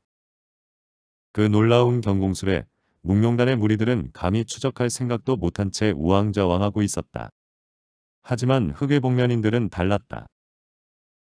비록 혼전 속에서 순간적으로 백현수를 놓치고 말았지만 그들은 당황한 가운데에 서도 황급히 그를 추적해 오고 있었다. 쫓고 쫓기는 추적전이 한동안 계속되었다. 그 사이에 이미 그들은 항주 관내를 벗어나들며 이름 모를 수계의 야산을 스쳐 지나갔다. 그러나 시간이 흐를수록 그들 간의 거리는 차츰 좁혀지고 있었다. 비록 백현수의 경공이 놀라운 것이었지만 이를 추격하는 흑의인들의 실력도 그에 못지않는 데다 격렬한 싸움에 이어 무거운 현물을 등에 업고 경공을 전개하고 있는 탓이었다. 어느 순간 백현수는 추격자들의 움직임을 바로 등 뒤에서 느끼게 되었다. 그리고 바로 등 뒤에서 호통 소리가 들려왔다. 멈춰라. 실력은 제법이지만 감히 우리의 수중을 벗어나려 하다니. 백현수는 이크하는 심정의 발길에 더욱 힘을 주었다. 그 순간 휘익하는 바람소리와 함께 등 뒤로부터 날카로운 기세가 밀려드는 것이었다. 더 이상 도주를 허용하지 않겠다는 듯 그들이 암기를 날린 것이었다. 우훗. 정신없이 앞을 향해 몸을 날리던 백현수도 별수 없이 우측으로 몸을 틀며 암기를 피할 수밖에 없었다. 아무리 자신이 빠르다 해도 암기의 속도에는 미치지 못하기 때문이었다. 그러나 그 짧은 시각 이미 그의 주위에는 서너 명의 흑의 복면인들이 길을 막고 있었다. 백현수의 눈빛이 흐려졌다. 이제 그들을 물리치지 않는 한 더 이상도 주는 불가능한 것이다. 너희들은 도대체 누구길래 묵룡단같이 하찮은 조직을 도운단 말인가. 흑의 복면인들은 백현수의 태도에서 일전 불사의 의지를 읽은 듯 경공전개를 위해 잠시 접어두었던 칼을 뽑으며 그의 주위를 애워쌌다. 그들 중 한 사람이 앞으로 나섰다. 유독 허리에 금빛띠를 두른 것이 아마 그들 중 우두머리로 생각되었다. 그건 우리가 할 말이다. 골륜파의 고수가 어찌 백사회 같은 조직에 몸을 담고 있다는 말이냐. 순간 백수연이 움찔했다. 자신이 전개한 울룡표의 신법을 알아본 것이다. 후훗. 대단하군. 내 신법을 알아보다니. 그대는 현천보의 인물인가. 이번에는 흑의인이 움찔했다. 그 역시자 신의 무공을 알아봤던 것이다. 그가 놀라는 것을 보고 백수연은 자신의 짐작이 맞았음을 느꼈다. 하지만 이에 백수연은 더욱 큰 의혹을 느꼈다. 묵룡단을 돕고 있기에 당초 그들이 농림의 무사들이나 흑도의 무사들로 짐작했었다. 그렇지만 서오르 앞의 격전에서 그들이 전개하는 무공이 이야기 들은 바 있던 현천보의 현천 구궁도법과 비슷해 반신반의 했었는데 그것이 사실이라니. 사실 현천보하면 최근에 두각을 나타내는 일장이보 중의 하나로 엄연히 백도무림계에 속해 있는 곳이지 않는가. 설마 했는데 사실이었군. 허허 현천보가 그래. 항주의 폭력 조직 간 다툼에 개입하다니. 닥치거라. 누가 현천보라고 했느냐. 백현수의 비웃는 듯한 말투에 흑의인은 무척 당황한 모양이었다. 화를 벌컥 내며 곧바로 그를 향해 칼을 뻗어왔다. 순간 그의 칼이 수개의 방위로 갈라지며 기이한 도형을 품어냈다. 후후 역시 현천구 공도법이군.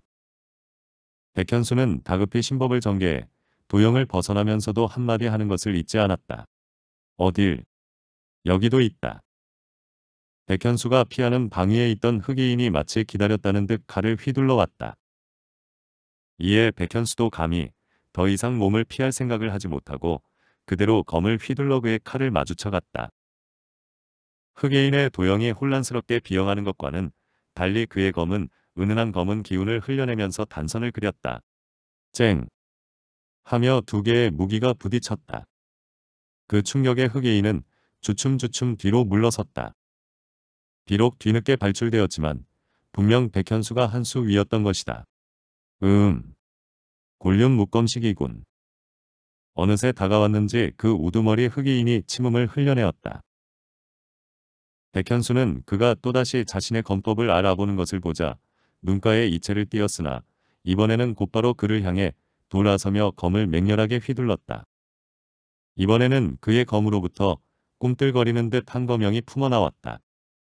바로 곤 륜파의 대표적인 검식인 울룡 18식이 전개되고 있는 것이다. 이에 흑해인들도 분분히 칼을 휘둘러 그에 대항하여 왔다.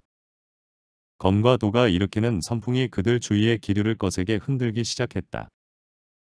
확실히 백현수는 뛰어난 무공을 지니고 있었고 그 무인은 흑해인들보다 앞서는 것이었다. 하지만 그 차이는 겨우 백지장 한 장 정도의 차이에 불과했다. 특히 그들 중 우두머리 흑해복면인의 무공은 결코 백현수의 아래라 고만할 수 없었고 그들은 수적으로도 우세했다. 결국 시간이 흐를수록 백현수는 힘이 딸리는 것을 느꼈다. 이미 팔과 다리 여러 군데 도상을 입었고 등에 엎여있던 현무에게도 도에 격증당한 듯 피가 흘러내리고 있었다. 아, 이대로 끝나야 한다는 말인가. 골련 18식 중 후삼식이라도 마저 익혔다면 이들을 물리칠 수 있었을 텐데. 백현수의 눈에서 절망의 빛이 흘러나오고 있었다. 사실 그는 골륜파의 속가제자였던 것이다. 당시 백도무림은 속가제자들의 개 무공의 정수를 알려주지 않는 것이 관내인 관계로 백수연은 그 뛰어난 자질에도 불구하고 골륜의 성명절학인 곤 윤18식 중 단지 15식까지만 익혔던 것이다. 상황은 갈수록 불리해져 갔다. 백현수는 점차적으로 몸이 무거워지고 신법도 예전처럼 영민하지가 않았다. 그러나 흑해인들의 공세는 마치 이를 기다리기라도 하듯 더욱 공세를 강화시켰다. 어느 순간 백현수는 등 뒤로부터 강렬한 기세를 느꼈다. 필히 그 우두머리 흑해인일 것이다. 하지만 이때 그는 좌우에서 밀려드는 두 개의 칼을 막아 내고 있었기 때문에 미처 뒤쪽에까지 방비할 수가 없었다. 그러나 그의 등에는 자신의 목숨보다 더 소중한 현무가 엎여 있었다. 이에 백현수는 입술을 세게 깨어 물었다. 그리고 우측의 칼을 막음과 동시에 좌측의 칼은 돌볼 틈도 없이 그대로 몸을 굴려 우측으로 맹렬히 굴렸다. 다행히 그의 우측에 있던 자의 돈은 백현수의 검에 밀려 어쩔 수 없이 위쪽으로 이동하고 있었기에 그 빈 공간이 있었던 것이다. 하지만 좌측에서 공격해오던 흑의인의 칼은 굴러가는 백현수의 신형을 집요하게 쫓아왔다. 그리고 푹 하며 마침내 백현수의 좌측 옆구리 부근에 박혀버리고 말았다. 으헉. 백현수의 옆구리에서 분수처럼 피가 품어 져 나오고 비록 경황 중에도 백현수는 몸을 일으켰지만 그 충격으로 비틀거리고 있었다. 그런데 바로 그 순간 우두머리 흑의인의 칼이 백현수의 머리를 향해 내려오고 있었다. 비틀거리던 백현수는 미처 그걸 알아차리지 못하고 그 칼은 백현수와 현무를 동시에 갈라버릴 기세로 떨어져 내리고 있었다. 백현수가 이를 알아차렸을 때는 이미 늦었다. 아! 백현수의 입에서 절망에 찬 신음소리가 터져나왔다. 그런데 바로 그 순간 그의 등 뒤로부터 강력한 바람이 일어나 도의 진로를 방해했다. 그러나 바람이 아무리 강력하다 할지라도 얇은 도의 기세를 완전히 누구러뜨릴 수는 없는 법 우두머리의 칼은 비록 기세가 줄긴 했지만 그대로 백현수와 현무의 좌측 어깨를 가르며 한 움큼 외살점을 도려내어 버렸다. 으, 으. 두 마디의 비명소리가 터져나왔다. 그러나 그 순간 백현수는 통증과 함께 등 뒤가 허전함을 느꼈다. 그리고 어느새 그의 좌측에서 주춤거리는 현무를 발견했다. 그 긴박한 순간 마침내 현무가 깨어났던 것이다. 본래 점했던 현무의 혼혈이 우연찮게 백현수가 그와 함께 땅을 구르는 사이 풀렸고 현무는 의식을 회복하자 말자 바로 머리 위에서 지쳐오는 칼에 반사적으로 일장을 내어 갈긴 후 어깨로부터의 부상에도 불구하고 그와 백현수를 묶고 있던 끈을 끊고 그의 좌측에 내려선 것이다. 회주. 깨어나셨구려. 반가운 마음에 백현수는 이렇게 외쳤지만 현무의 몰골도 그에 못지 않았다. 본래부터 입은 상처에 백현수 등에서 일도를 격중당했고 이제는 좌측 어깨마저 심한 부상을 입은 것이었다. 결국 현무가 깨어남으로 인해 백현수는 상대적으로 몸이 가벼워졌고 또한 비록 초식은 별거 없으나 공력이 심우한 현무가 가세했으나 그렇다고 상황은 별반 나아질 것이 없었다. 대신 그들의 부상은 더욱 심해졌기 때문이었다. 현무는 그야말로 혼신의 힘을 다했다. 일 갑자에 이르는 전 공력을 발휘해 팔방풍우 선인지로 복마삼검 등 자신이 알고 있던 모든 검식을 연이어 전개했고 그 위력에 흑의인들도 혀를 내두를 지경이었다. 그러나 강호인들이 보기에 이러한 허술한 삼류초식은 군데군데 빈틈투성이었다. 결국 시간이 지날수록 백현수보다는 현무의 부상이 심해졌다. 더욱이 설상가상으로 그들의 뒤쪽으로 부 터 10여 명의 흑의복면인들과 묵룡 단주 단열수 그리고 악기타를 쓴 회의인 이 놀라운 속도로 달려오고 있는 것이 눈에 띄었다. 특히 그들 중 악기타를 쓴 회의인은 거의 발이 땅에 닿지 않을 정도로 놀라운 경공을 보이고 있었다. 아, 이들만도 벅찬데. 후발 추격 때까지. 백현수의 입에서 절망의 목소리가 터져나왔다. 그런데 이러한 백현수의 태도와는 다르게 현무의 입에서는 오히려 커다란 광소가 터져나왔다. 하하하하 이 놈들. 잘도 오는구나 내 이미 여기에 뼈를 묻기로 작정했거늘. 지옥길에 단 한 놈이라도 더 데리고 가주마. 그러나 그건 현무의 기세일 뿐이었다. 이 미 너무나 심한 부상의 몸 하나 제대로 가누지 못하는데 어찌 적들을 죽일 수 있다는 말인가. 이에 우두머리 흑이인도 감탄하는 듯 했다. 허허 일개 파라코의 두목이 저런 기세가 있단 말인가. 진정 죽이기 아까운 인물이군. 하지만 그가 잠시 주춤한 그 짧은 시간의 장래에는 다시 변화가 생겼다. 그들이 드자비지를 하던 좌우측의 숲에서 갑자기 청홍백의 세 줄기 인형이 튀어나오더니 곧바로 두 명의 흑의인들이 쓰러져 버렸고 그들 중 청과 홍색의 인형은 흑의인들을 가로막는 사이 백색의 인형은 비틀거리는 현물을 낚아채고는 그대로 좌측 숲을 향해 몸을 날려 사라져 가는 것이었다. 비통에 가득 찬 여인의 목소리만 남긴 채 청년, 홍연, 너희들의 희생은 내 잊지 않으마. 너무나 갑작스럽게 벌어진 사건. 이에 흑의 복면인들은 물론 백현수도 멍할 수밖에 없었다.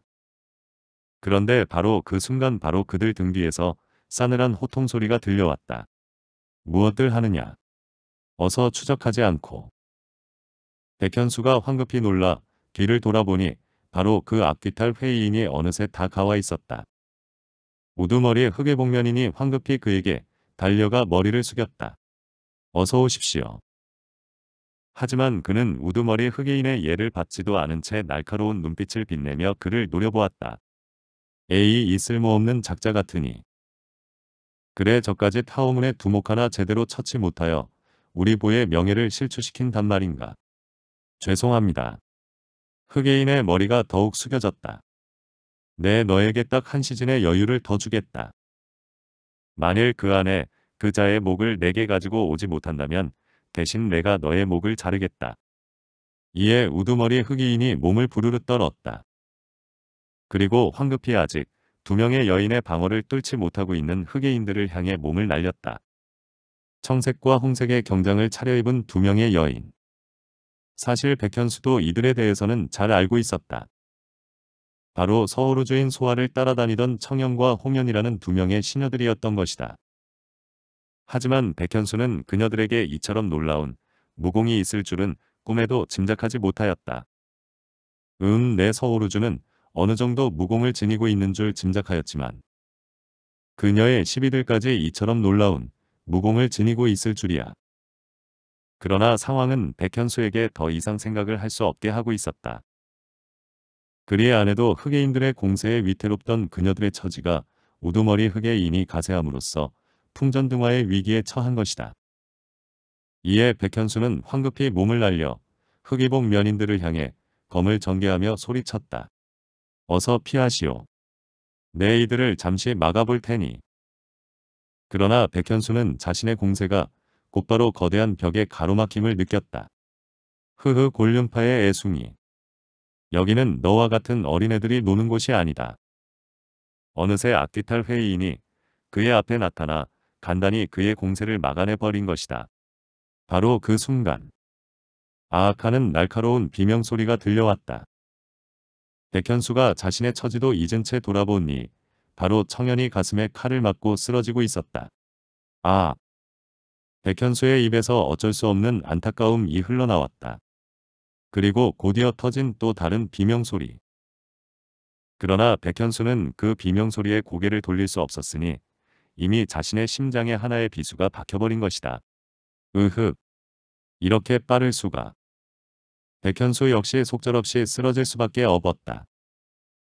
잠시 시선을 돌린 그 찰나직한 악기탈 회의는 그 짧은 시간에 백현수의 가슴에 비수를 박아 넣어버렸다. 실로 예의 흑의인들과는 상대도 되지 않는 놀라운 무의였던 것이다. 쯔쯔 보잘것 없는 놈들. 그래 이 정도의 인물들 하나 처치하지 못하고 악기탈 회의는 이미 사라져버린 백색의 인형을 따라 황급히 추적에 임하고 있는 흑의복면인들을 바라보며 혀를 끌끌 차고 있었다.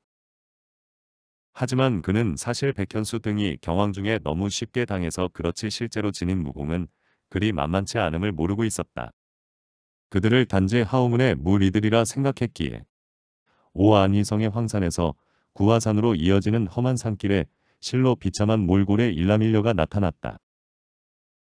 비록 경공을 전개한다고 하고는 있으나 그들의 움직임은 겨우 범인이 달리 는 정도에 불과했으며 곳곳에 자상을 입어온 몸이 만신창이가 되어 있었다. 게다가 그들이 입은 의복은 당초 무슨 색깔이었는지 구분하지 못할 정도로 온통 혈의로 변해 있었다. 남자가 헉헉거리며 입을 열었다. 루주. 지금이라도 이대로 떠나시오. 그들이 노리는 사람은 나이니. 여자는 남자의 말에 대답도 하지 않고 그대로 발길만 옮기고 있었다. 남자가 갑자기 발길을 멈추었다. 그리고 조금 더 강한 목소리가 이어졌다. 루주. 어서 떠나라 하지 않았소. 내 그대가 떠나지 않으면 이곳에서 한 발 자욱도 움직이지 않을 것이요. 여인의 발길이 멈추어졌다. 그리고 남자를 향해 돌아섰다. 흐트러진 머리하며 몰골은 엉망이었지만 여인의 아름다움만은 감출 수 없었다. 남자를 바라보는 여인의 눈에는 야속함과 원망이 담겨 있었다. 그리고 남자를 향한 음성에는 그보다 더 한 아픔이 배어 있었다. 지금 소녀더러 현공자님을 버리고 가라 하였습니까? 그러나 남자의 표정은 냉랭하기 그지없었다. 그렇소. 가라 하였소. 이제 모든 것이 귀찮소. 그대의 호의도. 그대의 희생도. 남자의 냉랭한 표정과 그 보다 더욱 차가 운말투의 여인의 눈동자는 뿌옇게 흐려졌다. 그리고 이슬같이 투명한 눈물 한 방울이 볼을 타고 흘러내렸다. 그러나 그것도 잠시 여인은 무슨 생각을 하였는지 소매를 들어 눈물을 훔친 후 애써 밝은 미소를 띄어 올렸다. 그리 고 남자에게 다가와 천천히 절을 올리는 것이었다. 어디선가 급박한 호각 소리가 그들의 귓가에 들려왔다. 무릎을 꿇은 채 여인의 입이 열렸다. 공자께서 가라면 가겠어요. 부디 몸조심 하시길. 여인의 눈에 다시 눈물이 맺혔고 남자는 그 모습을 참아보지 못하겠다는 듯 고개를 돌렸다. 잠시 후 여인이 좌측 숲을 향하여 몸을 날렸다. 아까와는 비교가 되지 않을 정도로 빠른 몸놀림으로 그녀의 신형은 곧 남자의 시야에서 사라졌다. 그래. 잘 가시오. 그대같이 곱고 아름다운 여인이 왜 나와 같이 보잘것 없는 사람을 위해 희생한다는 말이오. 조금은 맥이 빠진 듯한 중얼거림을 남기고 남자도 산길을 따라 걷기 시작했다. 아주 느린 걸음으로. 그런데 갑자기 그의 귓전에 날카로운 휘 파람 소리가 들려왔다. 필히 여인이 내었을 것으로 생각되는 높은 톤의 소리였다. 그러자 발길을 옮기던 남자의 동작이 일순정지되면서 그의 얼굴에는 경악과 당황스러움이 서렸다. 그 휘파람 소리가 무엇을 의미한지 금방 알아차린 것이다. 이런 어리석은 여인. 남자는 어쩔 줄 몰라 하며 휘파람 소리가 나는 방향을 향해 급히 발걸음을 옮겼다. 발길을 옮기는 그의 귓전을 혼란스러운 호각 소리가 어지럽히고 있었다. 그들 일남일녀는 바로 현무와 소아였다. 묵룡단과 이들을 후원하는 강호인들에게 갑작스런 기습을 받고 모든 기반을 잃어버린 채 목숨마저 위태로워진 현무 그리고 극적인 순간 그를 구출해 달아난 소하. 이들은 항조 외곽에서 이곳 구화산의 기슭에 이르기까지 참으로 집요한 추적에 시달려왔다. 휴식 한번 제대로 할 수 없었으며 수차례 혈투를 벌인 끝에 결국 만신창이가 된 몸으로 구화산의 기슭까지 도주해 온 것이었다. 당초 방심의 허를 뚫고 현물을 구한 소아는 청영과 홍연의 희생으로 상당 한 시간을 벌 수 있었고 이 시간은 그들에게 비교적 여유 있는 마음을 갖게 하였다. 그리고 당초 현물을 추적하였던 흑의인들도 무슨 일이 있더라도 그를 추격 살해해야 한다는 악착 같은 마음 같은 것은 없었다. 그들에게 현무는 그저 하우문 부류의 소두목에 불과했기 때문이었다. 그러나 우연히 악디탈 회의인이 현무를 추적하던 무리들을 만나는 바람에 상황이 괴이한 방향으로 흘러가게 되어버렸다. 그는 자신의 수하들이 겨우 조그마한 폭몇단 두목 하나 제압하지 못하고 있는 상황에 붕괴 결국 그들의 책임자인 흑일복면인을 참하는 사태에까지 이르게 되었고 결국 상황은 본의 아니게 그의 자존심 문제로 바뀌어 버린 것이다. 이후 앞기탈 회의는 현무를 추적하는 일에 전력을 기울이게 되고 따라서 현무와 소아는 죽을 고비를 몇 번이나 넘은 끝에 그곳에까지 이르게 되었던 것이다. 하지만 거기까지가 그들의 한계였다. 특히 현무는 수많은 부상을 입은 데다 치료마저 제대로 못하고 도주와 악정보투를 병행하다 보니 그야말로 만신창이가 되어 버려 그대로 도주하다가 는 자신은 물론이요 소아까지 살아나기 힘들 것으로 판단하였고 결국 그녀를 살리기 위해 냉정한 태도로 그녀를 떠나보내게 되었다. 그런데 정작 소아는 이러한 현무의 마음을 짐작하고 오히려 현무의 안전을 위해 적들을 유인하는 방법을 택했던 것이니 현무는 갑작스런 상황에 놀라고 다급한 심정으로 황급히 휘파람 소리를 따라 몸을 움직였다. 그러나 만일 그에게 일갑자란 높은 수준의 공력이 없었다면 죽어도 몇 번은 죽었을 치명적인 상처를 입고 몸 하나 제대로 가누지 못하는 그가 전력을 다해 적들을 유인하고 있는 소화를 어찌 따라갈 수 있으랴. 그의 걸음은 마치 술에 취한 듯 비틀거렸고 험한 산길의 중심을 잃고 구르기를 수도 없이 반복했다. 그러다 어느 순간 그는 갑자기 자신의 발밑이 허전해 짐을 느꼈다. 자신의 몸이 걷잡을 수 없을 정도로 추락하고 귓전을 스치는 날카로운 바람 소리도 들려왔다.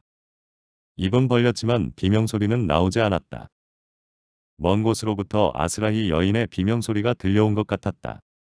그리고 마침내 쿵 하는 소리와 함께 마 치온 몸이 산산이 부서지는 듯한 극심한 충격을 느끼며 그는 그대로 의식을 잃고 말았다. 현무는 물끄러미 전방을 주시하고 있었다.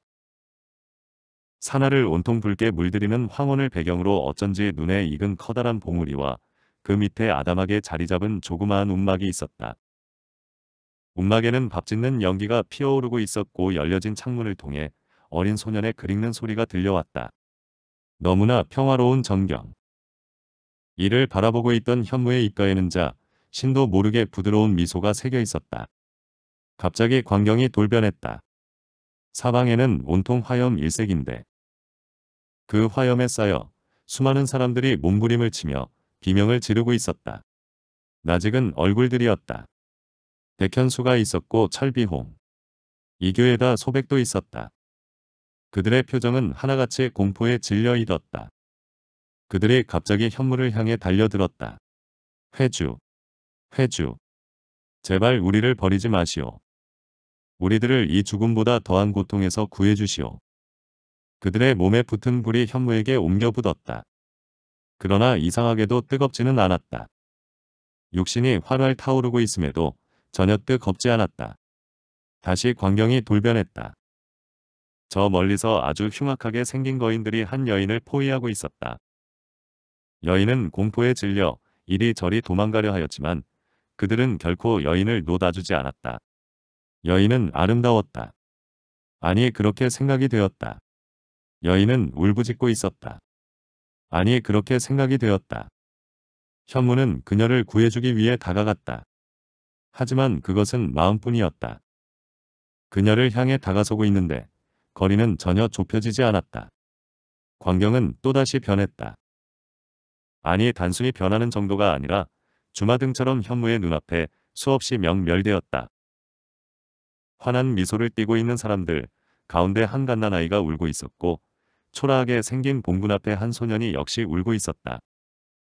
어린 거지 하나가 나뭇가지 같은 것을 들고 이상한 자세도 취하고 있었고 바로 그 소년이 커다란 장정들을 마구 때 이어 눕히고 있었다. 아까 봤던 나직은 얼굴들이 다시 나타났다. 그런데 이번에는 물속에 빠져 허우적거리고 있었다. 백현수가, 철비홍이, 소백이.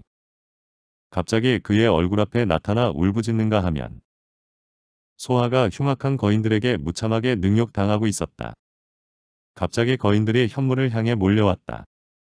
흉신악살과 같은 모습으로 현무의 온 몸을 난자질했다. 거인들의 모습이 갑자기 나직은 얼굴들로 바뀌었다. 소화도 있었고 철비홍도 있었고 소철리 소백도 있었다. 그러나 그들 역시 흉악한 표정으로 현무의 몸에 마구 칼질을 했다. 순간 이제껏 느끼지 못했던 극심한 통증이 몰려들었다. 가히 인간으로서는 참지 못할 극한의 통증이었다. 아아.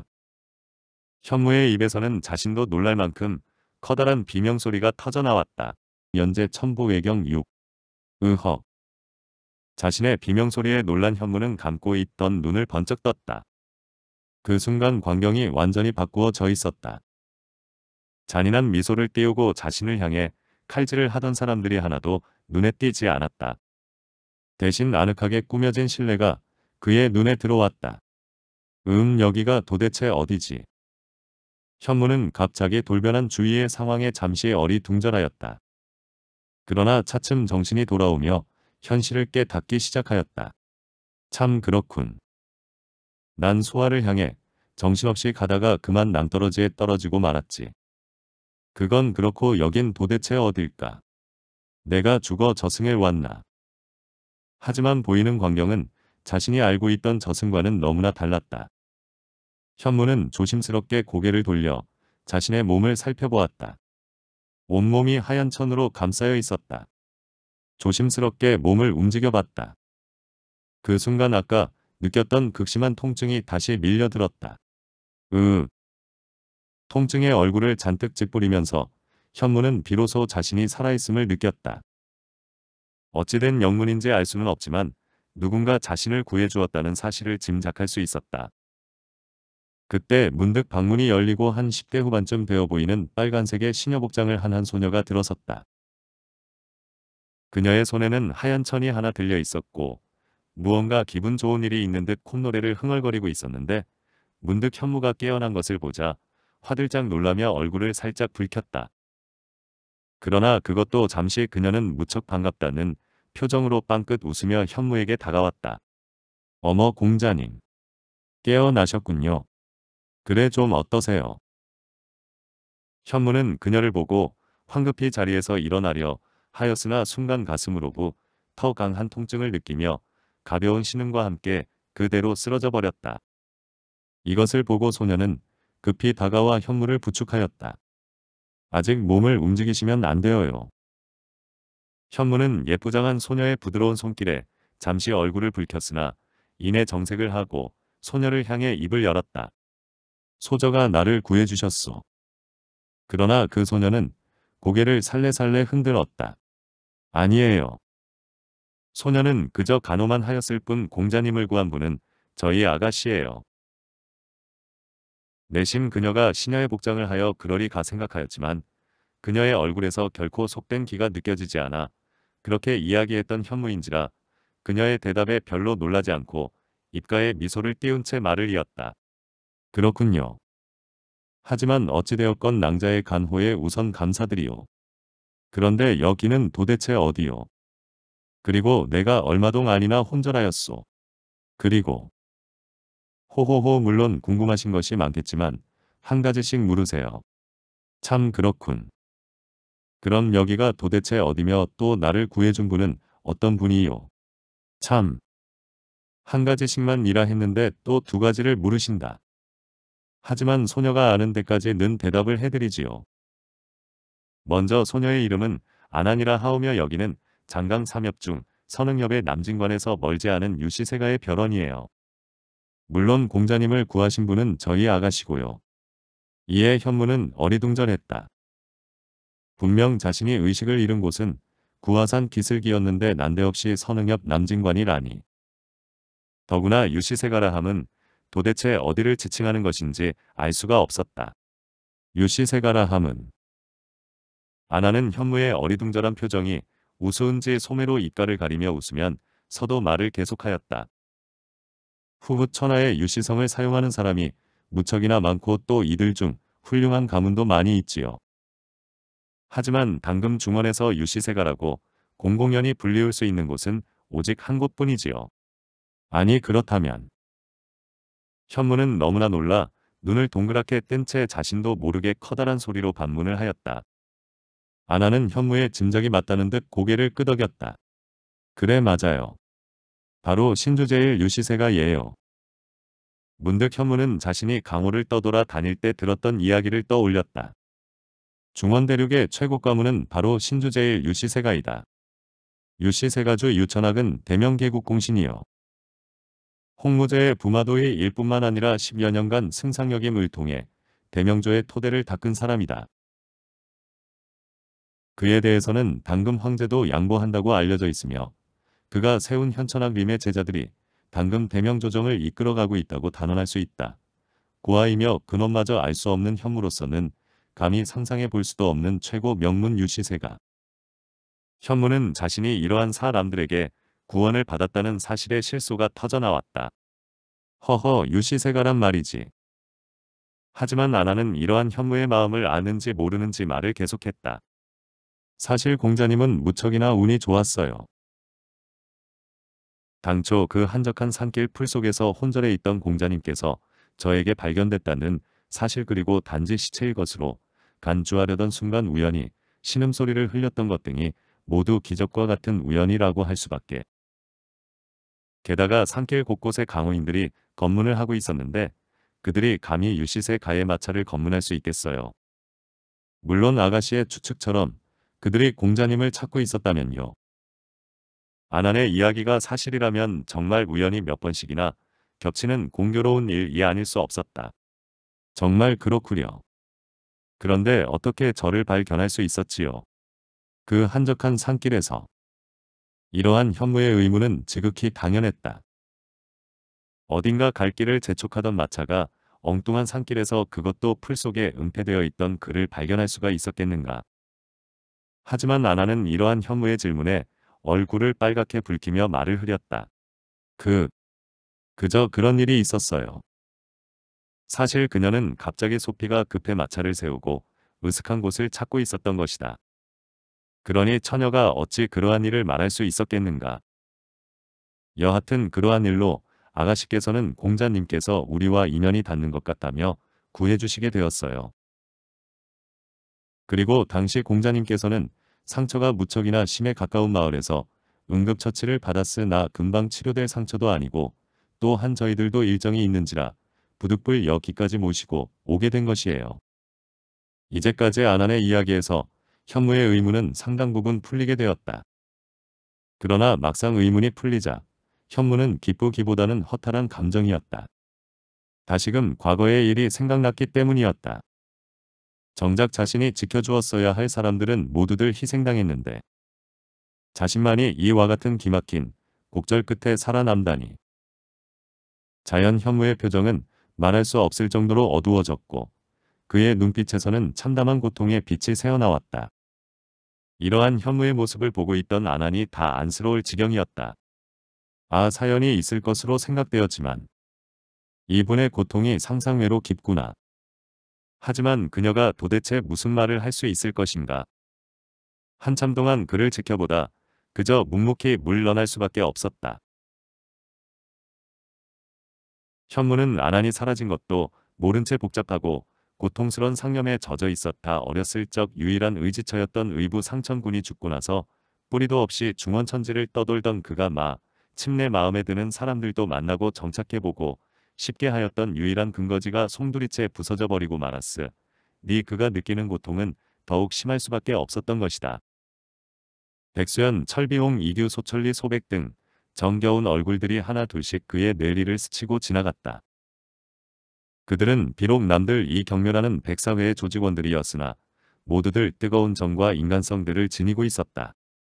그리고 그에 대한 믿음과 의리가 있었다.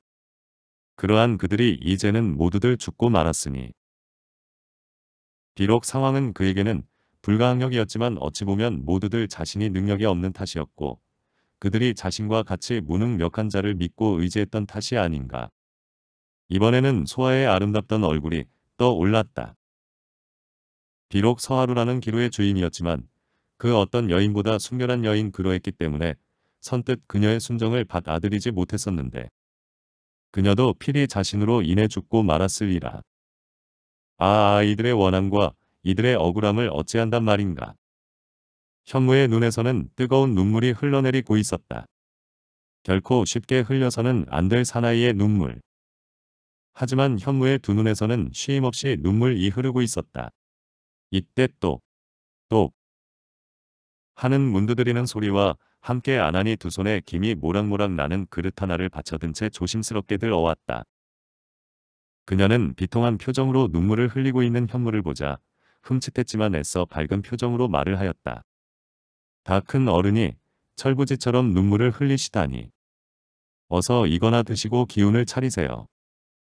비록 단순한 말 한마디였지만 그녀의 말에 는 따뜻한 정이 스며 있었다. 흔치 않는 인연으로 인해 그를 구하게 되어 더욱 마음이 쏠리는 것 같았다. 이에 현무는 슬쩍 눈물을 닦고 애써 미소를 지었다. 하지만 그 표정은 우는 것도 웃는 것도 아닌 기괴한 모습이었다. 아난이 참지 못하고 웃음을 터뜨렸다. 킥. 울다가 웃으면 뿔이 난대요.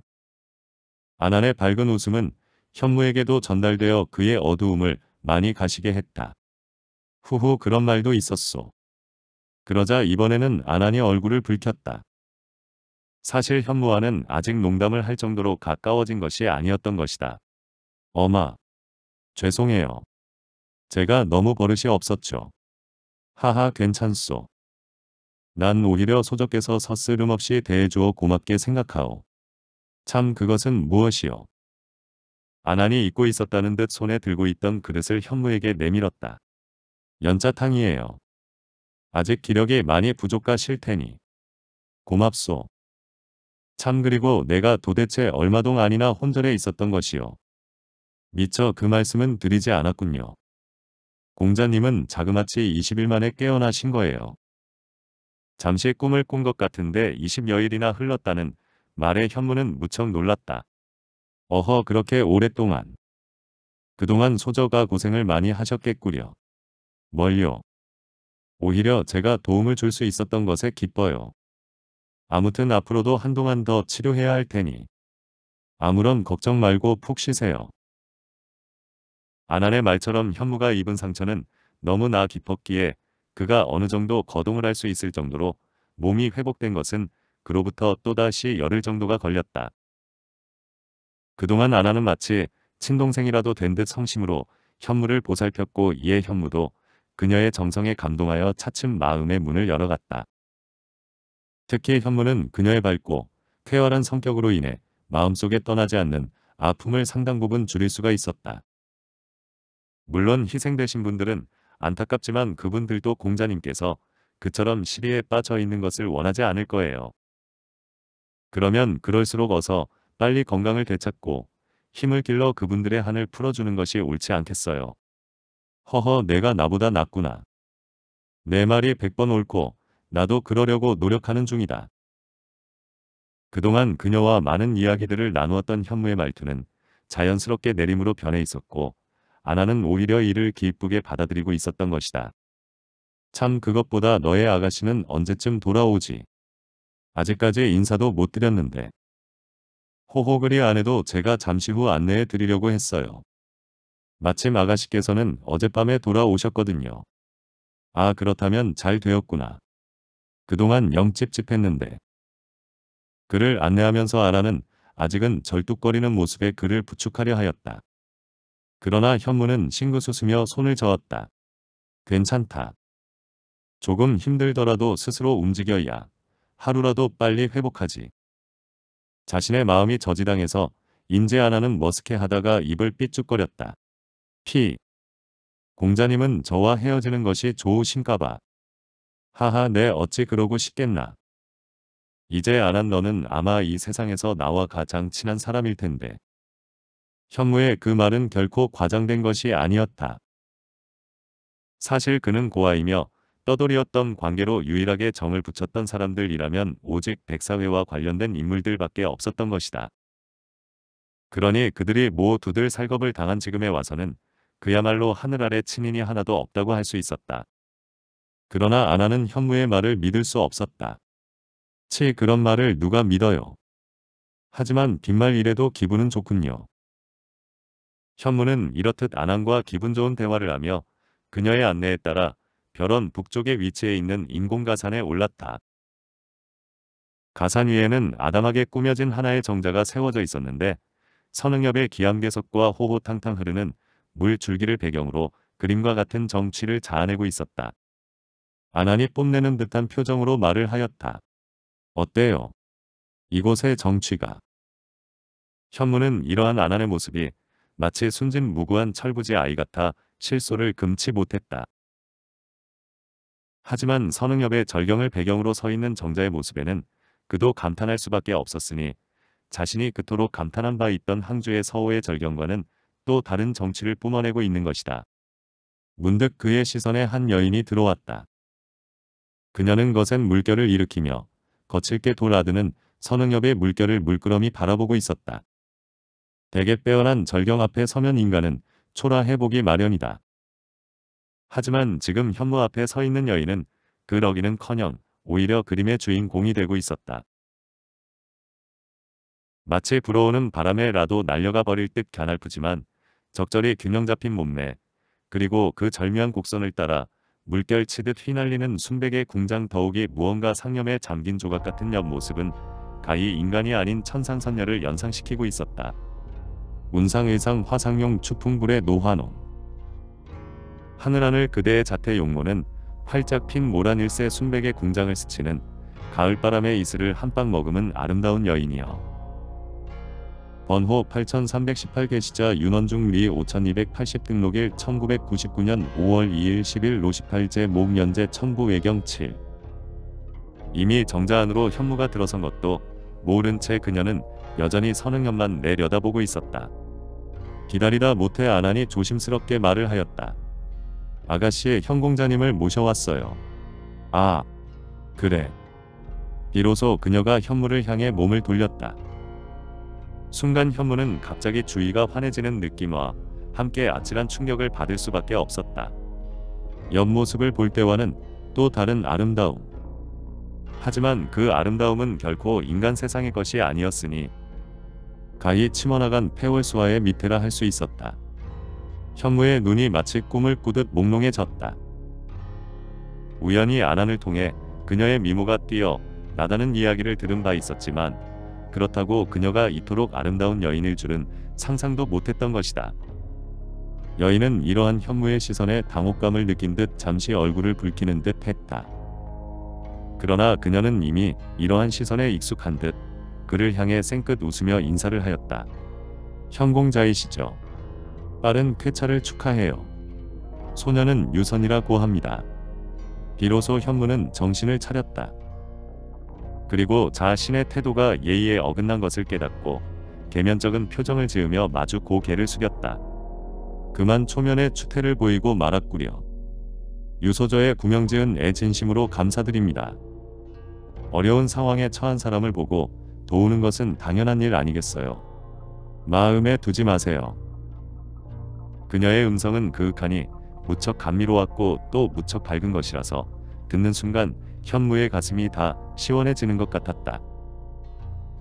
그리고 그녀의 몸짓과 태도는 최상류의 급의 여인답지 않게 지극히 친절하고 온화하였으며 또 성격이 쾌활하고 거침이 없어 현무를 무척 편안하게 해주었다. 대개 미인은 많았지만 유선처럼 첫 대면에 상대방을 이처럼 유쾌하게 하는 여인은 드물었다. 이는 단지 천성적인 외모만으로 이루어지는 것은 아니고 밝고 아름다운 심성 그리고 오랜 세월 형성된 지성 등이 겸비되어야 하기 때문이었다. 따라서 현무는 오랫동안 그의 마음을 무겁게 하던 모든 것들에게서 벗어나 지극히 유쾌한 마음으로 그녀와 담소를 나누게 되었다. 참 현공자께서는 어쩌다 그처럼 어려운 상황에 빠지시게 되었는지 문득 유선이 궁금한 표정으로 현무에게 물어왔다. 이에 현무는 잠시 망설였다. 그녀처럼 아름답고 고결한 여인이 혹시 자신에 대해 실망하지 않을까 하는 생각에서였다. 하지만 그렇다 하더라도 자신의 생명을 구해준 은인에게 거짓말을 꾸며댈 수도 없었고 더욱이 그녀라면 최소한 신세 내력과 같은 부수적인 조건으로 인해 사람을 판단하지 않을 거라는 묘한 믿음이 생겨나 마침내 자신이 살아왔던 과정에 대하여 간략하게 이야기를 해주었다. 무슨 연유에선지 알 수 없었지만 보구산 중에 버려졌던 자신 그리고 세상사의 환멸을 느껴 깊은 산중에 응거하기 위해 보구산을 찾던 상천군에 의해 보살핌을 받고 학문과 내 공을 익히게 되었던 어린 시절 14세의 어린 나이에 상천군이 죽으면서 사실상 고아가 되었고 그의 유언에 따라 보구산의 오두막에서 학문 등을 익히면서 살았던 2년간의 생활. 그러다가 결국 고독과 끌어 오르던 젊은 피를 참지 못해 세상에 나오고 무공을 배우기 위해 떠돌던 생활, 마침내 항주에 이르러 우연한 시비를 계기로 백사회와 인연이 닿았고 지금에 이르기까지 거의 모든 사실은 그대로 유선에게 말해 주었다. 아, 그랬었군요. 유선의 현무의 기대대로 그의 모든 것에 대해 알았음에도 불구하고 그를 경멸하거나 가볍게 보는 듯한 태도는 전혀 보이지 않았다. 대신 자신과는 전혀 다른 너무나 가슴 아프고 외로운 상황을 보냈던 현무의 지난 일에 대해 같이 아파해주는 따뜻함으로 오히려 현무의 마음을 송두리째 빨아들이고 있었다. 참 공자께서는 다시 무공을 배워볼 의향이 없으세요. 힘이 있어야 복수할 수도 있고 이번 일과 같이 억울한 일은 당하지 않으실 텐데. 현무는 이러한 유선의 이야기에 가볍게 한숨을 쉬며 대답했다.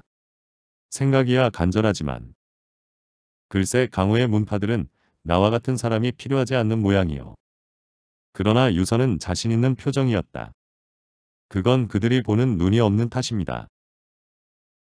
다행히 소녀에게는 무림의 몇몇 분들과 조금 교분이 있는 편이니 만일 괜찮으시다면 제가 한번 공자께서 들 어가실 만한 문파를 물색해 볼까 합니다. 현무는 유선의 이러한 제안에 솔깃하면서 도 미안한 마음이 강해 더 이상 아무 말도 못했다. 생면부지의 처지에서 목숨을 구원받은 것만 해도 어딘데. 한 달 가까이 신세도 지고 이번에는 또 무림인문을 위해 주 선하겠다니. 그저 유선에 대한 이러한 고마움을 마음속에만 담아놓고 있을 수밖에. 그 후로도 그들은 상당히 많은 이야기들 을 하였다. 가끔씩 무산삼엽의 절경에 대해서 이야기도 하고 고래의 시문이나 역사에 대한 이야기도 하고 세상을 보는 견해에 대해서도 많은 이야기들을 나누었다. 대화를 나누면 나눌수록 현무는 유선의 그윽한 인품과 순수하고 쾌활한 그녀만의 향기에 흠뻑 취해갔고 또한 유선은 유선대로 그처럼 불우한 환경 속에서도 굳굳이 살아온 현무의 강인한 의지와 시문 등의 해박한 식견에 감탄을 금치 못했다. 그리고 마침내 밤이 되어 아쉬운 만남의 시간은 끝이 났다. 이윽고 유선과 아쉬운 작별을 하고 다시 숙소에 돌아온 현무는 조금 피곤한 듯하여 곧바로 잠자리에 들었으나 어찌된 일인지 밤이 이슥토록 잠을 이룰 수 없었다. 혼자 있는 시간이 되면 어김없이 떠오르는 낯익은 얼굴들. 다행히 그들은 더 이상 현무를 향해 원망하는 표정을 짓지 않았다. 단지 슬픔이 가득 찬 그들의 눈빛들이 현무의 가슴을 안타깝게 하고 있을 뿐. 게다가 오늘 밤에는 유선의 아름답고 기품 있는 얼굴도 현무의 잠을 방해하고 있었다. 모든 것을 다 잃고 난 후 갑자기 자신 앞에 나타난 여인. 그 여인은 나타나자 맞아 현무의 마음을 송두리째 아사가 버렸지만 그가 도달하기엔 너무나 높은 곳에 자리 잡고 있었던 것이다. 이처럼 여러 가지 상념에 쌓여 잠을 못 이룬 현무는 새벽녘이 되어서야 겨우 잠에 들 수 있었다. 현무가 다음날 눈을 뜬 것은 이미 해가 중 천에 떠 있는 사시 무렵이었다. 비록 늦게 잠에 들었지만 오랜만에 비교적 평온한 잠을 잔 탓인지 그의 몸 상태는 하루 전보다는 훨씬 좋아진 것 같았다. 아마 이 정도면 머지않아 이곳을 떠날 수 있겠군. 이러한 생각을 하며 현무는 상쾌한 기분으로 자리에서 일어났다. 이미 아나는 아침 식사를 준비해 놓고 그가 나오기만을 기다리고 있었다. 허허 이거 내가 너무 늦잠을 잤나 보군. 어서 오세요. 어제 저희 아가씨와의 만남은 즐거웠나요? 아나는 그것이 가장 궁금했던 모양이다. 아가씨께서는 아무 말씀 안 하시더냐. 치 아가씨는 제가 말을 걸 시간도 없이 갑자기 또 떠나셨어요. 이에 현무는 깜짝 놀라며 반문했다. 아니 그게 정말이냐. 분명 어제는 한동안 이곳에 머무르겠다고 하셨는데 본래는 그러할 계획이었는데 어제 밤본가에서 급히 좀 들어오라는 정갈이 있었어요. 아, 그랬구나. 현무의 표정에는 실망스러운 기색이 그대로 드러났다. 많이 섭섭하신 모양이죠. 현무의 마음을 익히 짐작하겠다는 듯한 어투였다. 현무는 짐짓 헛웃음을 보이면서 태연히 식탁에 앉았다. 허허 은인께서 너무 급하게 떠났다니 하는 말이지. 이러한 현무를 아나는 한동안 기이한 표정으로 바라보았지만 더 이상 아 무말도 하지 않고 그의 식사를 준비해 주었다. 쳇 아쉽기는 아쉽군. 식사를 하면서도 현무의 뇌리에는 유선의 아름다운 모습이 쉬이 떠나지 않았다. 마침내 현무가 식사를 마치자 아나는 차와 함께 동서 한 통을 내어 놓았다. 이것이 무엇이냐? 현무가 아난을 올려다보았다. 아가씨께서 떠나시면서 공자님께 드리라고 한 서신이에요. 아 그래. 현무는 마치 누가 주워갈까 염려되기라도 하듯 얼른 봉서를 집어 개봉을 하였다. 이러한 광경을 지켜보던 아난이 슬쩍 자리를 비켜주었다. 쾌차하신 것을 보고 떠나려 하였으나 갑자기 급한 일이 생겨 미처 인사도 못 드리고 떠나가게 되었습니다. 극히 짧은 만남이었지만 현 공자님과의 만남이 저에게는 무척이나 즐거웠던 시간으로 기억될 것 같습니다. 너무 많은 고초를 겪으시고 너무나 많은 것을 잃어 버려 상심이 크시겠지만 무릇 하늘은 사람을 크게 쓰기 위해 시련을 주어 단련시킨다고 합니다. 비록 현재는 어렵지만 이제껏 해 오셨듯 이 굳굳이 참고 이겨내시면 공자님께서는 후일 반드시 큰 일을 하실 것으로 저는 믿습니다. 그리고 제가 베푼 작은 도움은 염두에 두지 마시기 바랍니다. 공자님을 도울 수 있어 소녀도 기뻤기 때문입니다. 참 무공을 배우고 싶다고 하셨군요. 사실 공자님은 무공을 시작하기에는 이미 근골이 굳어버려 조금 늦은 감이 있습니다. 그래도 한 가지 다행인 점은 공자께서 어렸을 적부터 꾸준히 내공연말을 해 오셨고 권법, 각법 등을 익히는 것을 게을리하지 않아 노력만 뒷받침된다면 충분히 대성할 수 있을 것입니다. 사실 큰 소리는 쳤지만 소녀가 공자께 추천할 수 있는 문파는 몇 개 되지 않아요. 저는 정식 무리민도 아닐 뿐더러 근내에 멀리 남해에 나가 있었기 때문이죠. 그들 중 특히 당금 무림맹의 최대 지주인 북궁세가를 추천하고자 합니다. 북궁세가는 당대 무맹주를 배출하여 다섯 대 세가 중 수자의 자리를 지키고 있는 당금 백도무림계의 지주인데다 외부인들에 대한 태도도 개방적이라 아마 공자께서 무공을 배우기에는 가장 좋은 곳이 될 것 같습니다. 다행히 소녀의 부친께서는 북궁맹주와 막 역지교관이니 동공한 저의 추천서를 가지고 가면 환영해 줄 것입니다. 그 밖에 상승무공을 보유하고 외부인들에게 개방적인 곳이라면 남궁세가와 소림과 무당이 있으나 남궁세가는 근래에 이르러 쇠퇴하고 있으며 소림은 출가하는 경우가 아니면 소림하원에 입문하기 위한 선발 절차를 거쳐야 하는 문제가 있고 무당은 출가를 하여야만 무당무공의 진수를 배울 수 있다는 문제가 있습니다. 참 소림하원에서는 며칠 후 금년에 선발 대회를 개최한다고 하더군요. 아무쪼록 모든 고난을 이겨내고 강호무림의 영웅으로 우뚝 설 수 있기를 간절히 바라겠습니다. 그런 다음에 좋은 인연으로 다시 만나 뵙기를. 유선 올림. 현무는 편지를 접어 품속에 넣었다. 비록 사적인 내용이나 제외의 약속 같은 것은 없었으나 그 서신에는 유선의 아름답고 따뜻한 마음이 숨어 있었다. 단 한 번의 만남이었지만 이미 그녀는 현무의 가슴에 깊게 각인되어 있었다. 은인이자 우상으로. 그로부터 며칠 후 현무는 안항과 작별을 고하고 한 달여 머물렀던 유시세가의 별원을 떠났다. 잘 가세요. 부디 몸 조심하시고. 안한. 내 너의 고마움은 평생 잊지 않겠다. 그리고 무공을 이루고 난 후 반드시 너를 찾겠다. 결국 아나는 울음을 터뜨렸고 현무는 이러한 아난의 손을 힘껏 잡아준 후 아쉬운 발길을 옮겼다. 바로 천하무림의 본류인 숭산소림사를 향해 그가 손쉬운 북공세가를 마다하고 굳이 소림사를 택한 것은 다른 사람의 도움을 받지 않고 혼자의 힘으로 그 길을 개척하고 싶다는 의지와 자존심, 그리고 혹 잘못하면 유선에게 패가 될지 모르는 상황에서 더 이상 그녀의 도움을 받기 싫다는 생각에서였다. 시루인 산하불변 각소적 보보 중중 하시성 정무지공 결은원 평정중원 벗들은 잃었으나 사나는 여전하고 갈 길은 알았으나 걸음은 무겁도다 언제나 진정한 무공을 이루어 모든 은원 해결하고 중원 대륙 평정할까 제 첨부 외경 8 18만리 검정중원 바로 열혈대한 들의 뜨거운 야 망과 피로 항상 시비가 그치지 않는 풍운의 대지를 일컫는 말이다. 하지만 당금 강호무림은 유례없는 평온의 시기를 누리고 있었다. 사람들은 이러한 현상을 두고 두 사람을 떠올린다.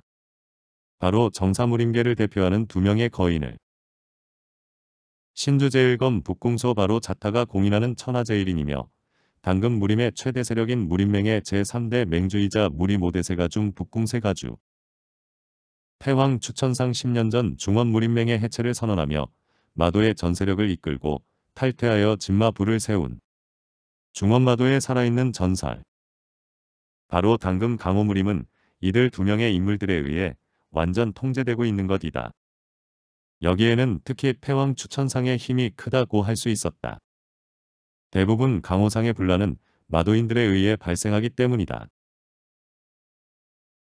비록 그는 10여 년전 천마무림련을 축출하는 과정에서 정사연합으로 결성한 중원무림맹을 탈퇴하여 진마부를 세웠지만 이후 무림맹과 평화협정을 맺고 백도무림계와 다툼을 금지시켰고 소속 마도인들에 대해 살인 방화 가늠 등의 행동을 철저히 단속했던 것이다.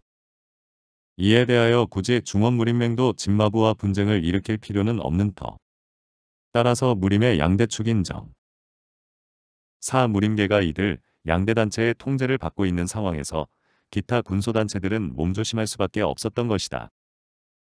혹자는 이를 두고 패왕 추천상이 신주제 일건 북궁소와 무림맹의 위세에 눌렸다고도 말한다.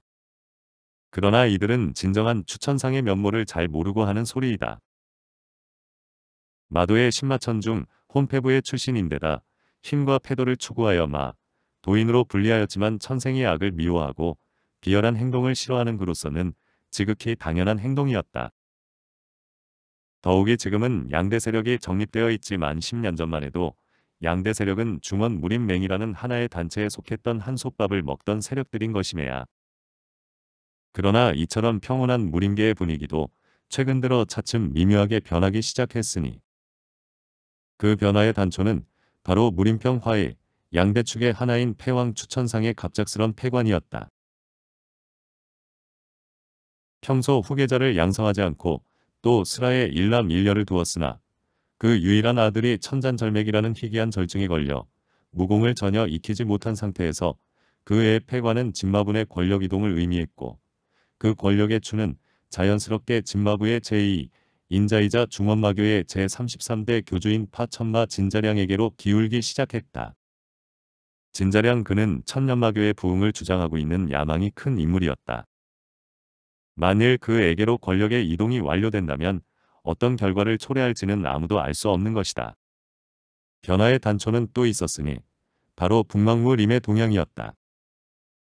대원제국의 중원 점령과 함께 이들의 후원으로 중원 무림계를 일통한 바 있었던 대막과 대초원의 무림인들이 천하 무림년의 부활을 주장하며 서서히 힘을 모으고 있는 것이다.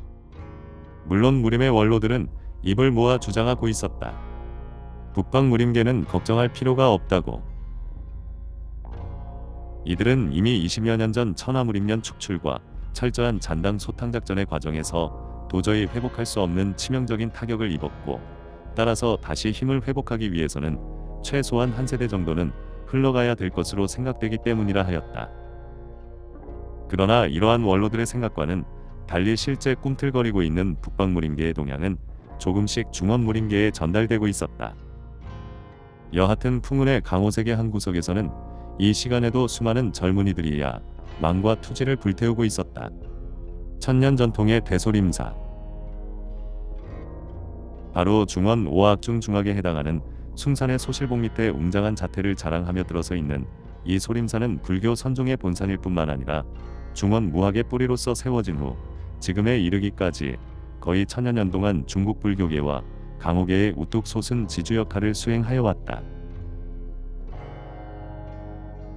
특히 소림사가 창시되던 시기에 강호무림계는 극히 초보적인 무예만 전승되고 있었는데 소림사의 등장과 함께 비의학적인 발전기를 맞이하게 되었으니 이는 바로 무학조사라 일컬어지고 있는 달마 선승이 달마역근경과 72종의 절기를 창안하였고 이중 달마역 근경은 인체를 단련하는 방법과 무학의 기초이론을 집대성하여 정리한 것으로 이로써 무학이 체계적으로 발달할 수 있는 기틀이 마련되었다. 결국 이러한 영향으로 그 다음 세대에서는 소림 36절을 창안한 소림의 해능 내각이공을 창안한 무당파의 조사 장산봉 건법의 이론을 집약시킨 화산의 천검 악천비 등의 등장과 함께 황금기를 맞게 되었던 것이다.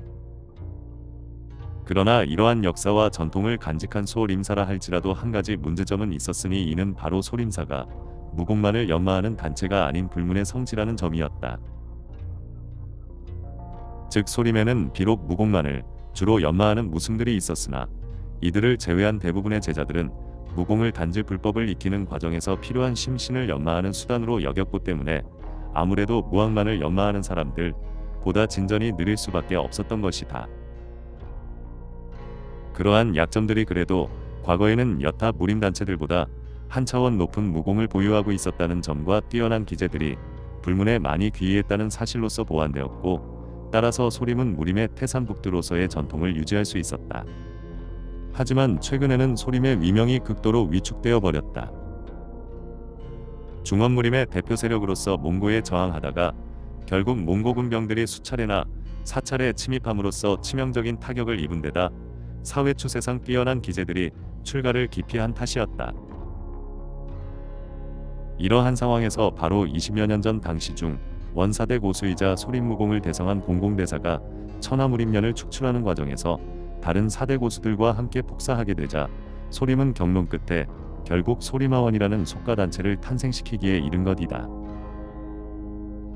무림의 태산 북부의 위명과 정의 소호를 위해 무림 고수들이 필요하다면 굳이 불법을 연마하는 승려들에게 무공을 강요할 것이 아니라 천하의 기재들을 모아 무공을 익히게 하는 속가제자 집단을 별도로 양성하자는 것이다. 그러나 비록 속가제자라 할지라도 소림의 정통 무공을 익히려면 아주 어려들 적부터 체계적인 수련을 받게 해야 하는데 소림은 그러한 방법보다는 아예 10대 후반의 젊은이들 중 무공에 대한 기초와 자질 그리고 품성이 뛰어난 기재들을 골라 이들에게 소림의 진산절애를 전수하는 방법을 택했다. 그리고 이들에게는 10년간의 기한을 정해 소림하원 소속으로 소림에 봉사하여야 하며 그 이후에는 본래의 적을 찾아 자유로이 활동이 가능하나 소림절에 한해서는 소림의 승인이 없이는 함부로 전수를 못함은 물론 소림무예를 사용해 불의를 행해서는 안 된다는 조건을 붙였다.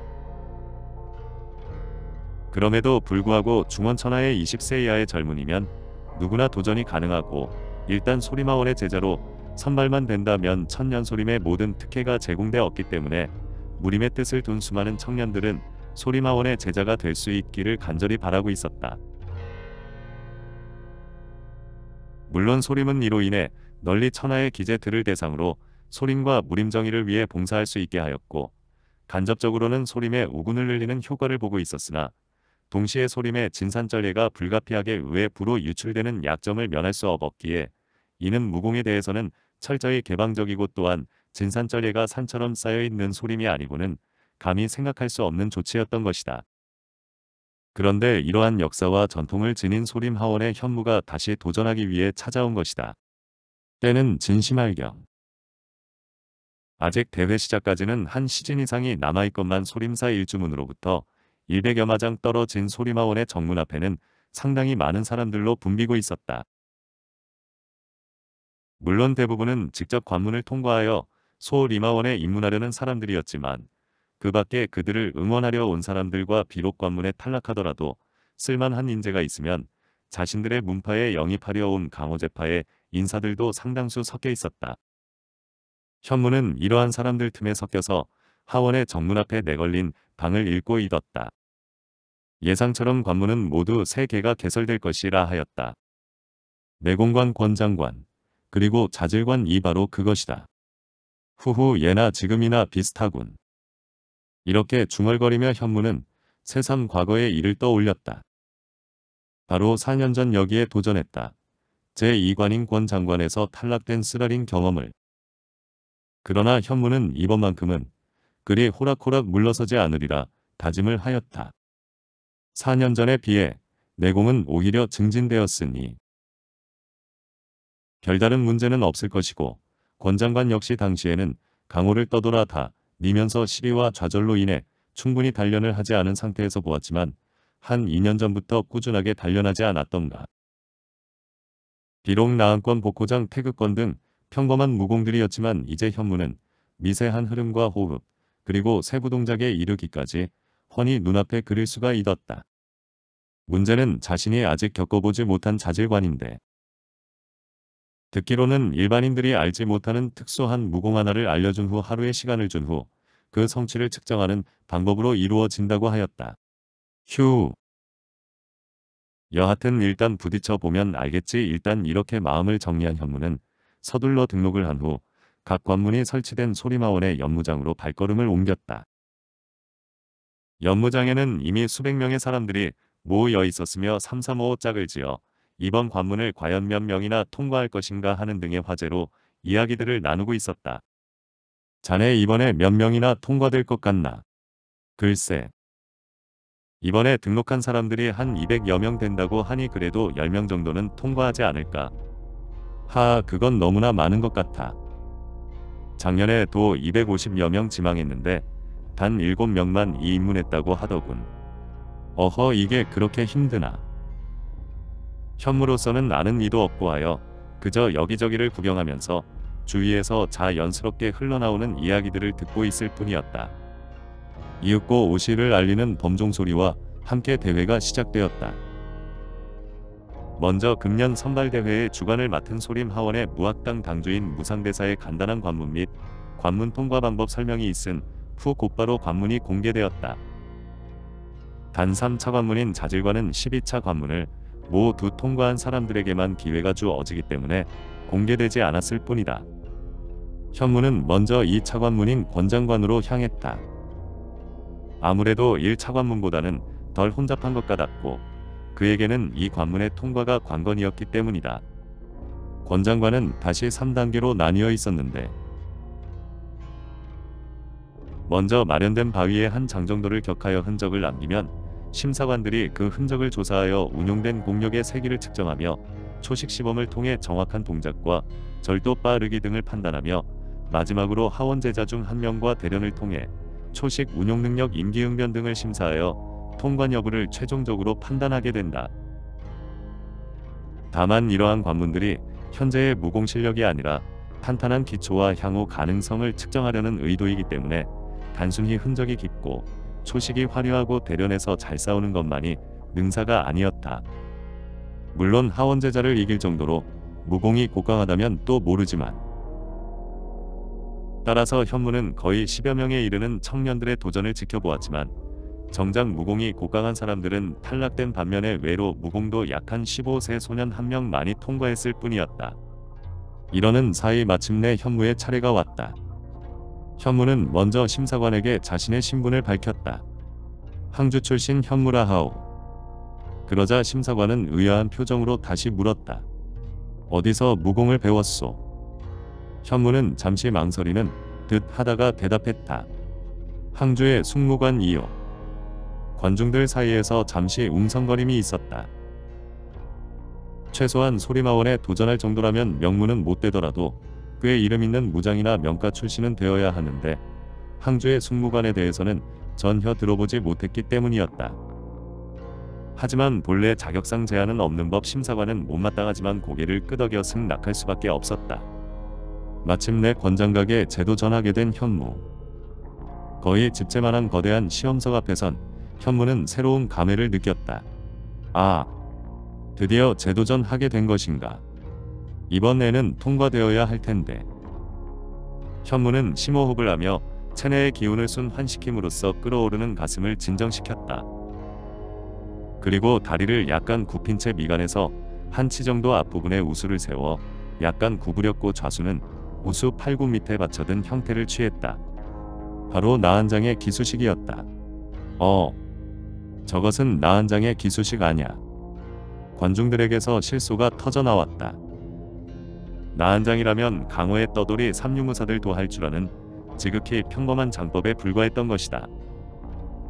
그러나 이러한 평범한 장법임에도 불구하고 기수식이 있었고 대부분의 사람들은 아예 기수식 자체를 익히지도 않고 관심도 두지 않았었다. 허허 나 한 장의 기수식이라. 그래도 그 진지함만은 장원감이로다. 칭찬인지 야유인지 모를 소리들.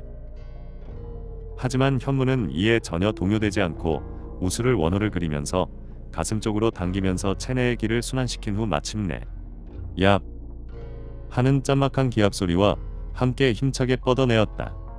순간 꽝 하는 격타음이 장내를 뒤흔들었다. 비록 초식은 단순하지만 최대한 응축된 일갑자의 공력. 이미 바위에는 손바닥 형태의 흔적이 자그마치 두 푼 정도의 깊이로 패여 있었다. 더욱이 그 흔적은 멀리서 보아도 상당히 매끄러웠으니 와 잘한다.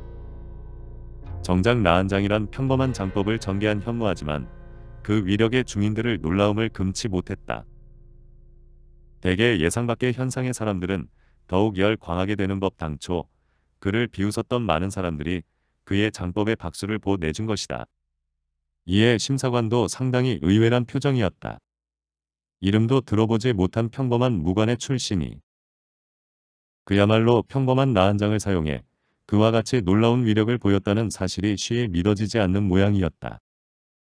그는 두 푼 정도의 깊이로 파여진 바위와 현무의 얼굴을 몇 차례 보더니 마침내 통과 하고 큰 소리로 외쳤다.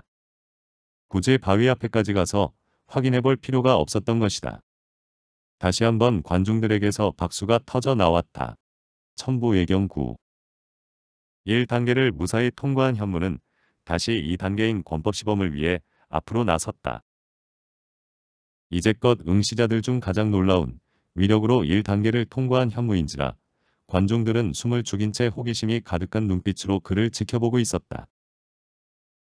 이번에는 학다리 자세를 취한 현무는 우수를 비스듬히 우상방을 향해 타원형 형태로 뻗어 올린 후 좌수는 반대로 좌하방으로 뻗어 양손이 커다랗게 마주보게 하였다. 하하 이번에는 태극권 2군.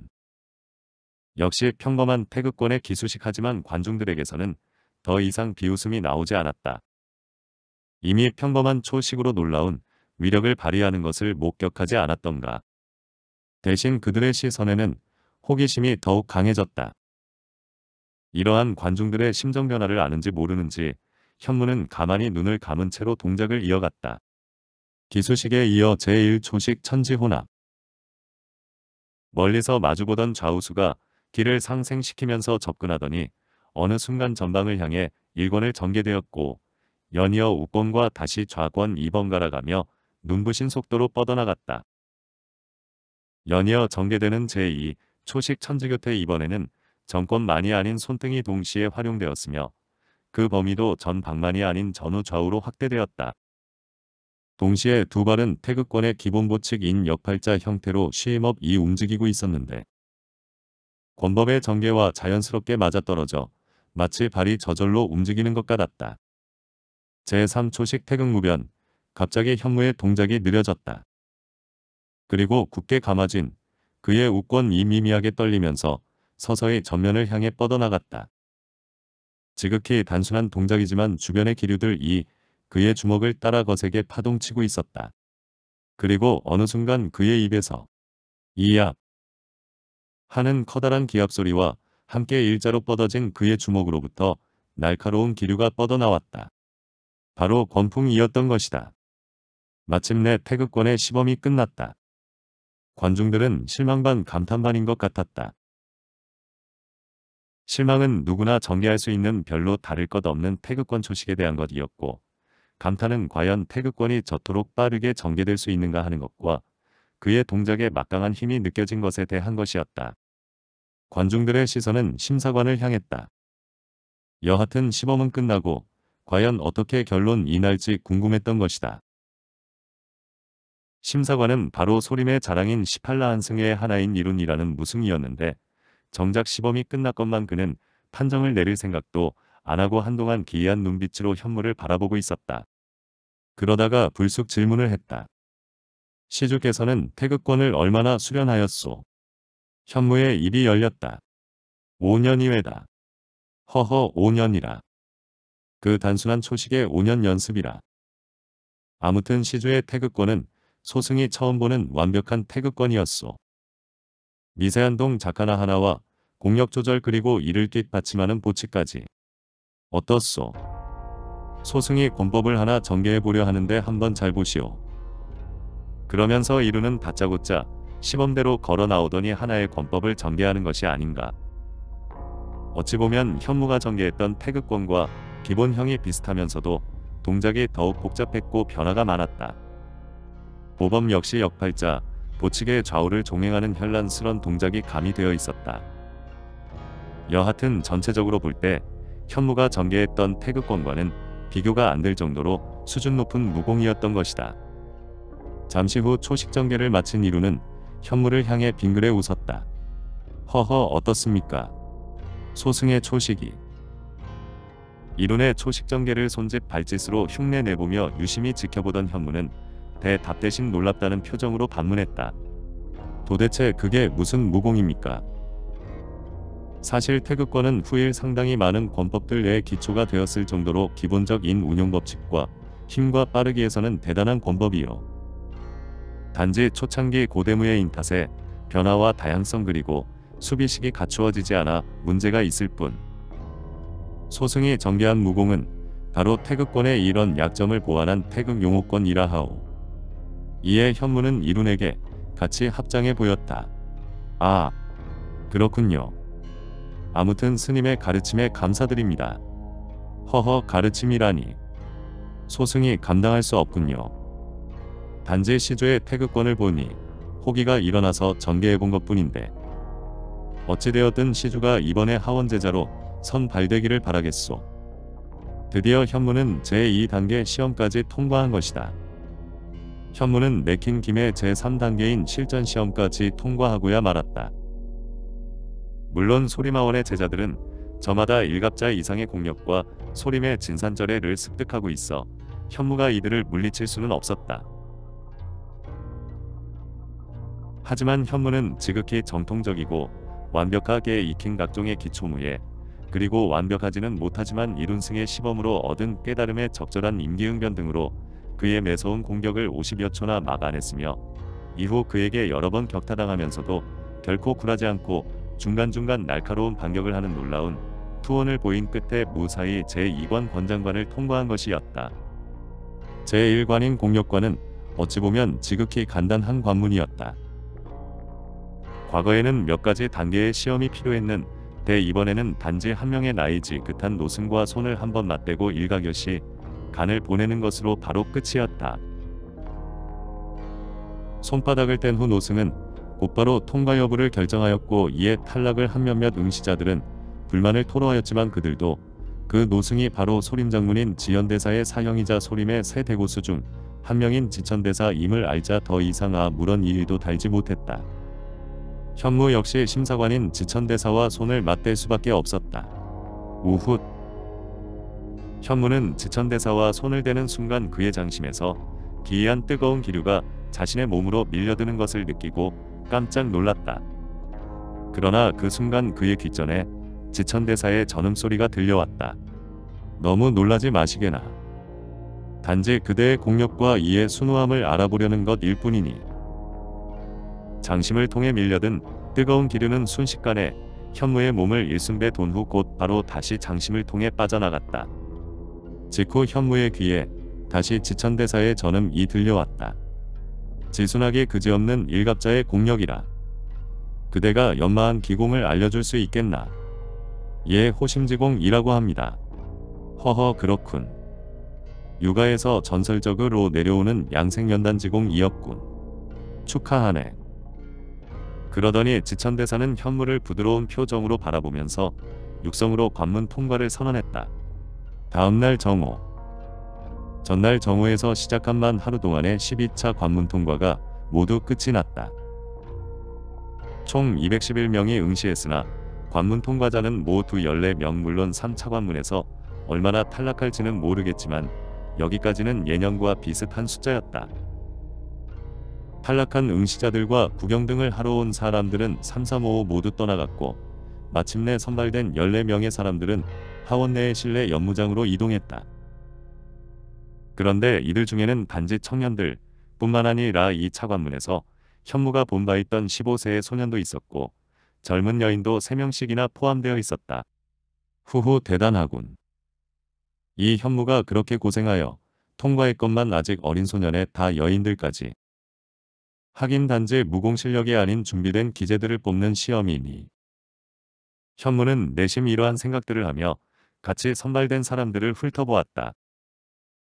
하지만 그들을 제외하고는 현무가 보기에 전부들 날카로운 안광이며 흘리는 기세들이 모두들 현무의 수준 이상이었다. 바로 그때 그들 앞에 지천대사와 첫눈에 무척 뛰어나게 보이는 젊은 청년이 나타났다. 아, 무유소협이다. 얼핏 누군가 감탄하는 소리가 들려왔다. 이에 현무는 깜짝 놀라며 새삼스러운 눈빛으로 앞에 선 청년을 바라보았다. 이마에는 검은 영웅권을 둘러매고 횃불처럼 빛나는 눈빛과 강인해 보이는 턱을 지닌 비교적 영준한 용모의 청년. 그런데 그가 바로 소림이 낳은 최대의 기제이자 당금 중원, 오룡에 속해 있는 달마검엽 무유였던 것이다. 무릇 강호의 몸을 담고 있는 젊은이들이 라면 누구나 동경에 맞지 않는 후 기체고지수 들인 강호 오룡. 신품 제1공자 북궁희 마철용 진흙송 달 막검엽 무유 만바공룡선 제갈청운 그리고 남해 백엄 후궁예. 자타가 공인하는 당대 최고 후기 지수들이 몇 진인 바 무공은 오히려 일파지 존들을 능가한다고 알려져 있었다. 특히 이들은 역시 고절한 무공과 미모까지 겸비한 여인들인 강호오봉들과 함께 신주십출로 불리우고 있었다.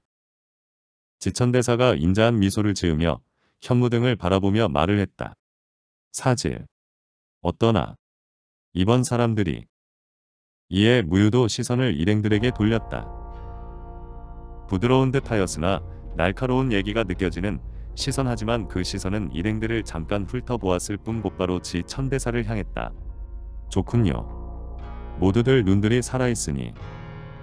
허허 그러면 이번 관문은 사질이 한번 진행해보게. 예 알겠습니다. 무유의 시선이 다시 일행 등에게로 옮겨졌다. 그러나 이번 시선은 좀 더 날카롭고 오래 지속되었다. 마치 한 사람 한 사람 꿰뚫어 보듯이. 이에 일행들은 슬쩍 불쾌한 심정이 드는 듯 했지만 이미 그는 자신들이 넘볼 수 없는 위치에 있는 사람이었고 더욱이 이제는 자신들의 탈락 여부를 결정지을 수 있는 위치에 있었기 때문에 감히 불만을 드러낼 수 없었다. 그래서 대부분은 무유의 시선을 감히 맞받지 못하고 시선을 떨구고 말았으. 나 그중 몇 명은 역시 날카로운 빛을 품어내며 그의 시선을 맞받음으로써 은근히 무유의 무례함을 이야기하고 있었고 현무는 그저 담담한 눈빛으로 그를 마주 보았다. 무유의 시선에서 얼핏 이체가 떠올랐다. 응 역시 이번의 응시자들은 지난번보다 낫군. 무인으로서 기백들이 있어. 상대가 누구이건 결코 굴하고 싶지 않다는 그의 시선이 다시 현무를 향했다. 그런데 저 자는 정말 특이하군. 항주 숭 무관 출신 현무라 했던가. 가히 400개서 관심을 둘만한 자임에는 틀림없군 단지 시선 하나로 무유는 벌써 이들에 대한 1차 심사를 마쳤던 것이다. 무유는 일행들을 향해 정중하게 폭권의 예를 취한 후 말을 하였다. 제 시선이 불편하였다면 이해해 주시기 바라오. 단지 여러분들의 시선에서 무언가를 느끼기 바랬던 것이오. 순간 현무의 눈에서 빛이 발했다. 그에 의해 돌을 짐작한 것이다. 단지 눈빛 하나로 상대방을 읽는다는 것. 그만큼 그가 뛰어난 영거림을 입증하고 있었다. 역시 소림 최고의 후기 지수답군. 사람을 보는데 가장 중요한 것은 바로 마, 음의 창이라 할 수 있는 눈이라는데 혹시 그가 이미 선발을 끝낸 것은 아닐까? 하지만 현무의 이러한 의심과는 달리 무유는 차분한 어조로 말을 이어가고 있었다. 그럼 이제 제3관인 자질관에 대하여 설명해 주겠소. 이번 자질관은 간단하오. 즉 잠시 후 전수하게 되는 한 가지 무공을 명일정 5가지 연마한 후 그 성취도를 시험하는 것이요. 일단 이성 이상의 성취가 있다면 통과하는 것으로 하겠소. 무유가 말하는 자질관 통과 방법은 이들도 익히 알고 있었다. 제12관의 내용은 해마다 바뀌었지만 제3관만은 이제껏 같은 방법으로 행해졌기 때문이었다. 단 통관이 가능한 성취도는 무공마 다 달랐는데 이번에는 단 이성만 성취하면 된다니 필히 이번 무공이 익히기 극히 힘들 것으로 생각될 뿐이었다. 그러면서도 이들은 혹시 통관무공 이 자신들이 알고 있는 무공 중에서 나왔으면 하고 은근히 기대하는 것이었다. 하지만 이제껏 그러한 기대들은 모두 무산되고 말았으니 이는 그만큼 소림의 무공이 무궁무진하다는 것을 말해주고 있었다. 자 이제 통관무공인 창천보의 구결을 알려주겠소. 구결은 단 5회 암송할 것이며 해설은 없고 시범은 빠르게 2회 느리게 2회 전개할 것이오. 참고적으로 보법을 통관무공으로 정한 까닭은 건법도 법권법 장법 등 일반 무공은 각자의 특기가 달라 형평을 기하기 힘들다는 점이요. 물론 보법도 개인에 따라 조금씩 차이가 있을 수 있으나 본래 보법은 모든 무공의 기초이니 커다란 문제는 될 것이 없을 것이요. 그러면서 무유는 곧바로 구결함송을 시작했으니 이들은 비록 마음속에 일부 의문이 있는 사람도 있었지만 모두들 한자라도 놓이지 않기 위해 귀를 기울일 수밖에 없었다. 구결함송과 시범이 끝난 후 현무 등 14명은 각기 다른 하나의 개인연 무실이 배당되었다. 서로 간의 영향을 철저히 배제하려는 주최 측의 생각 때문이었다.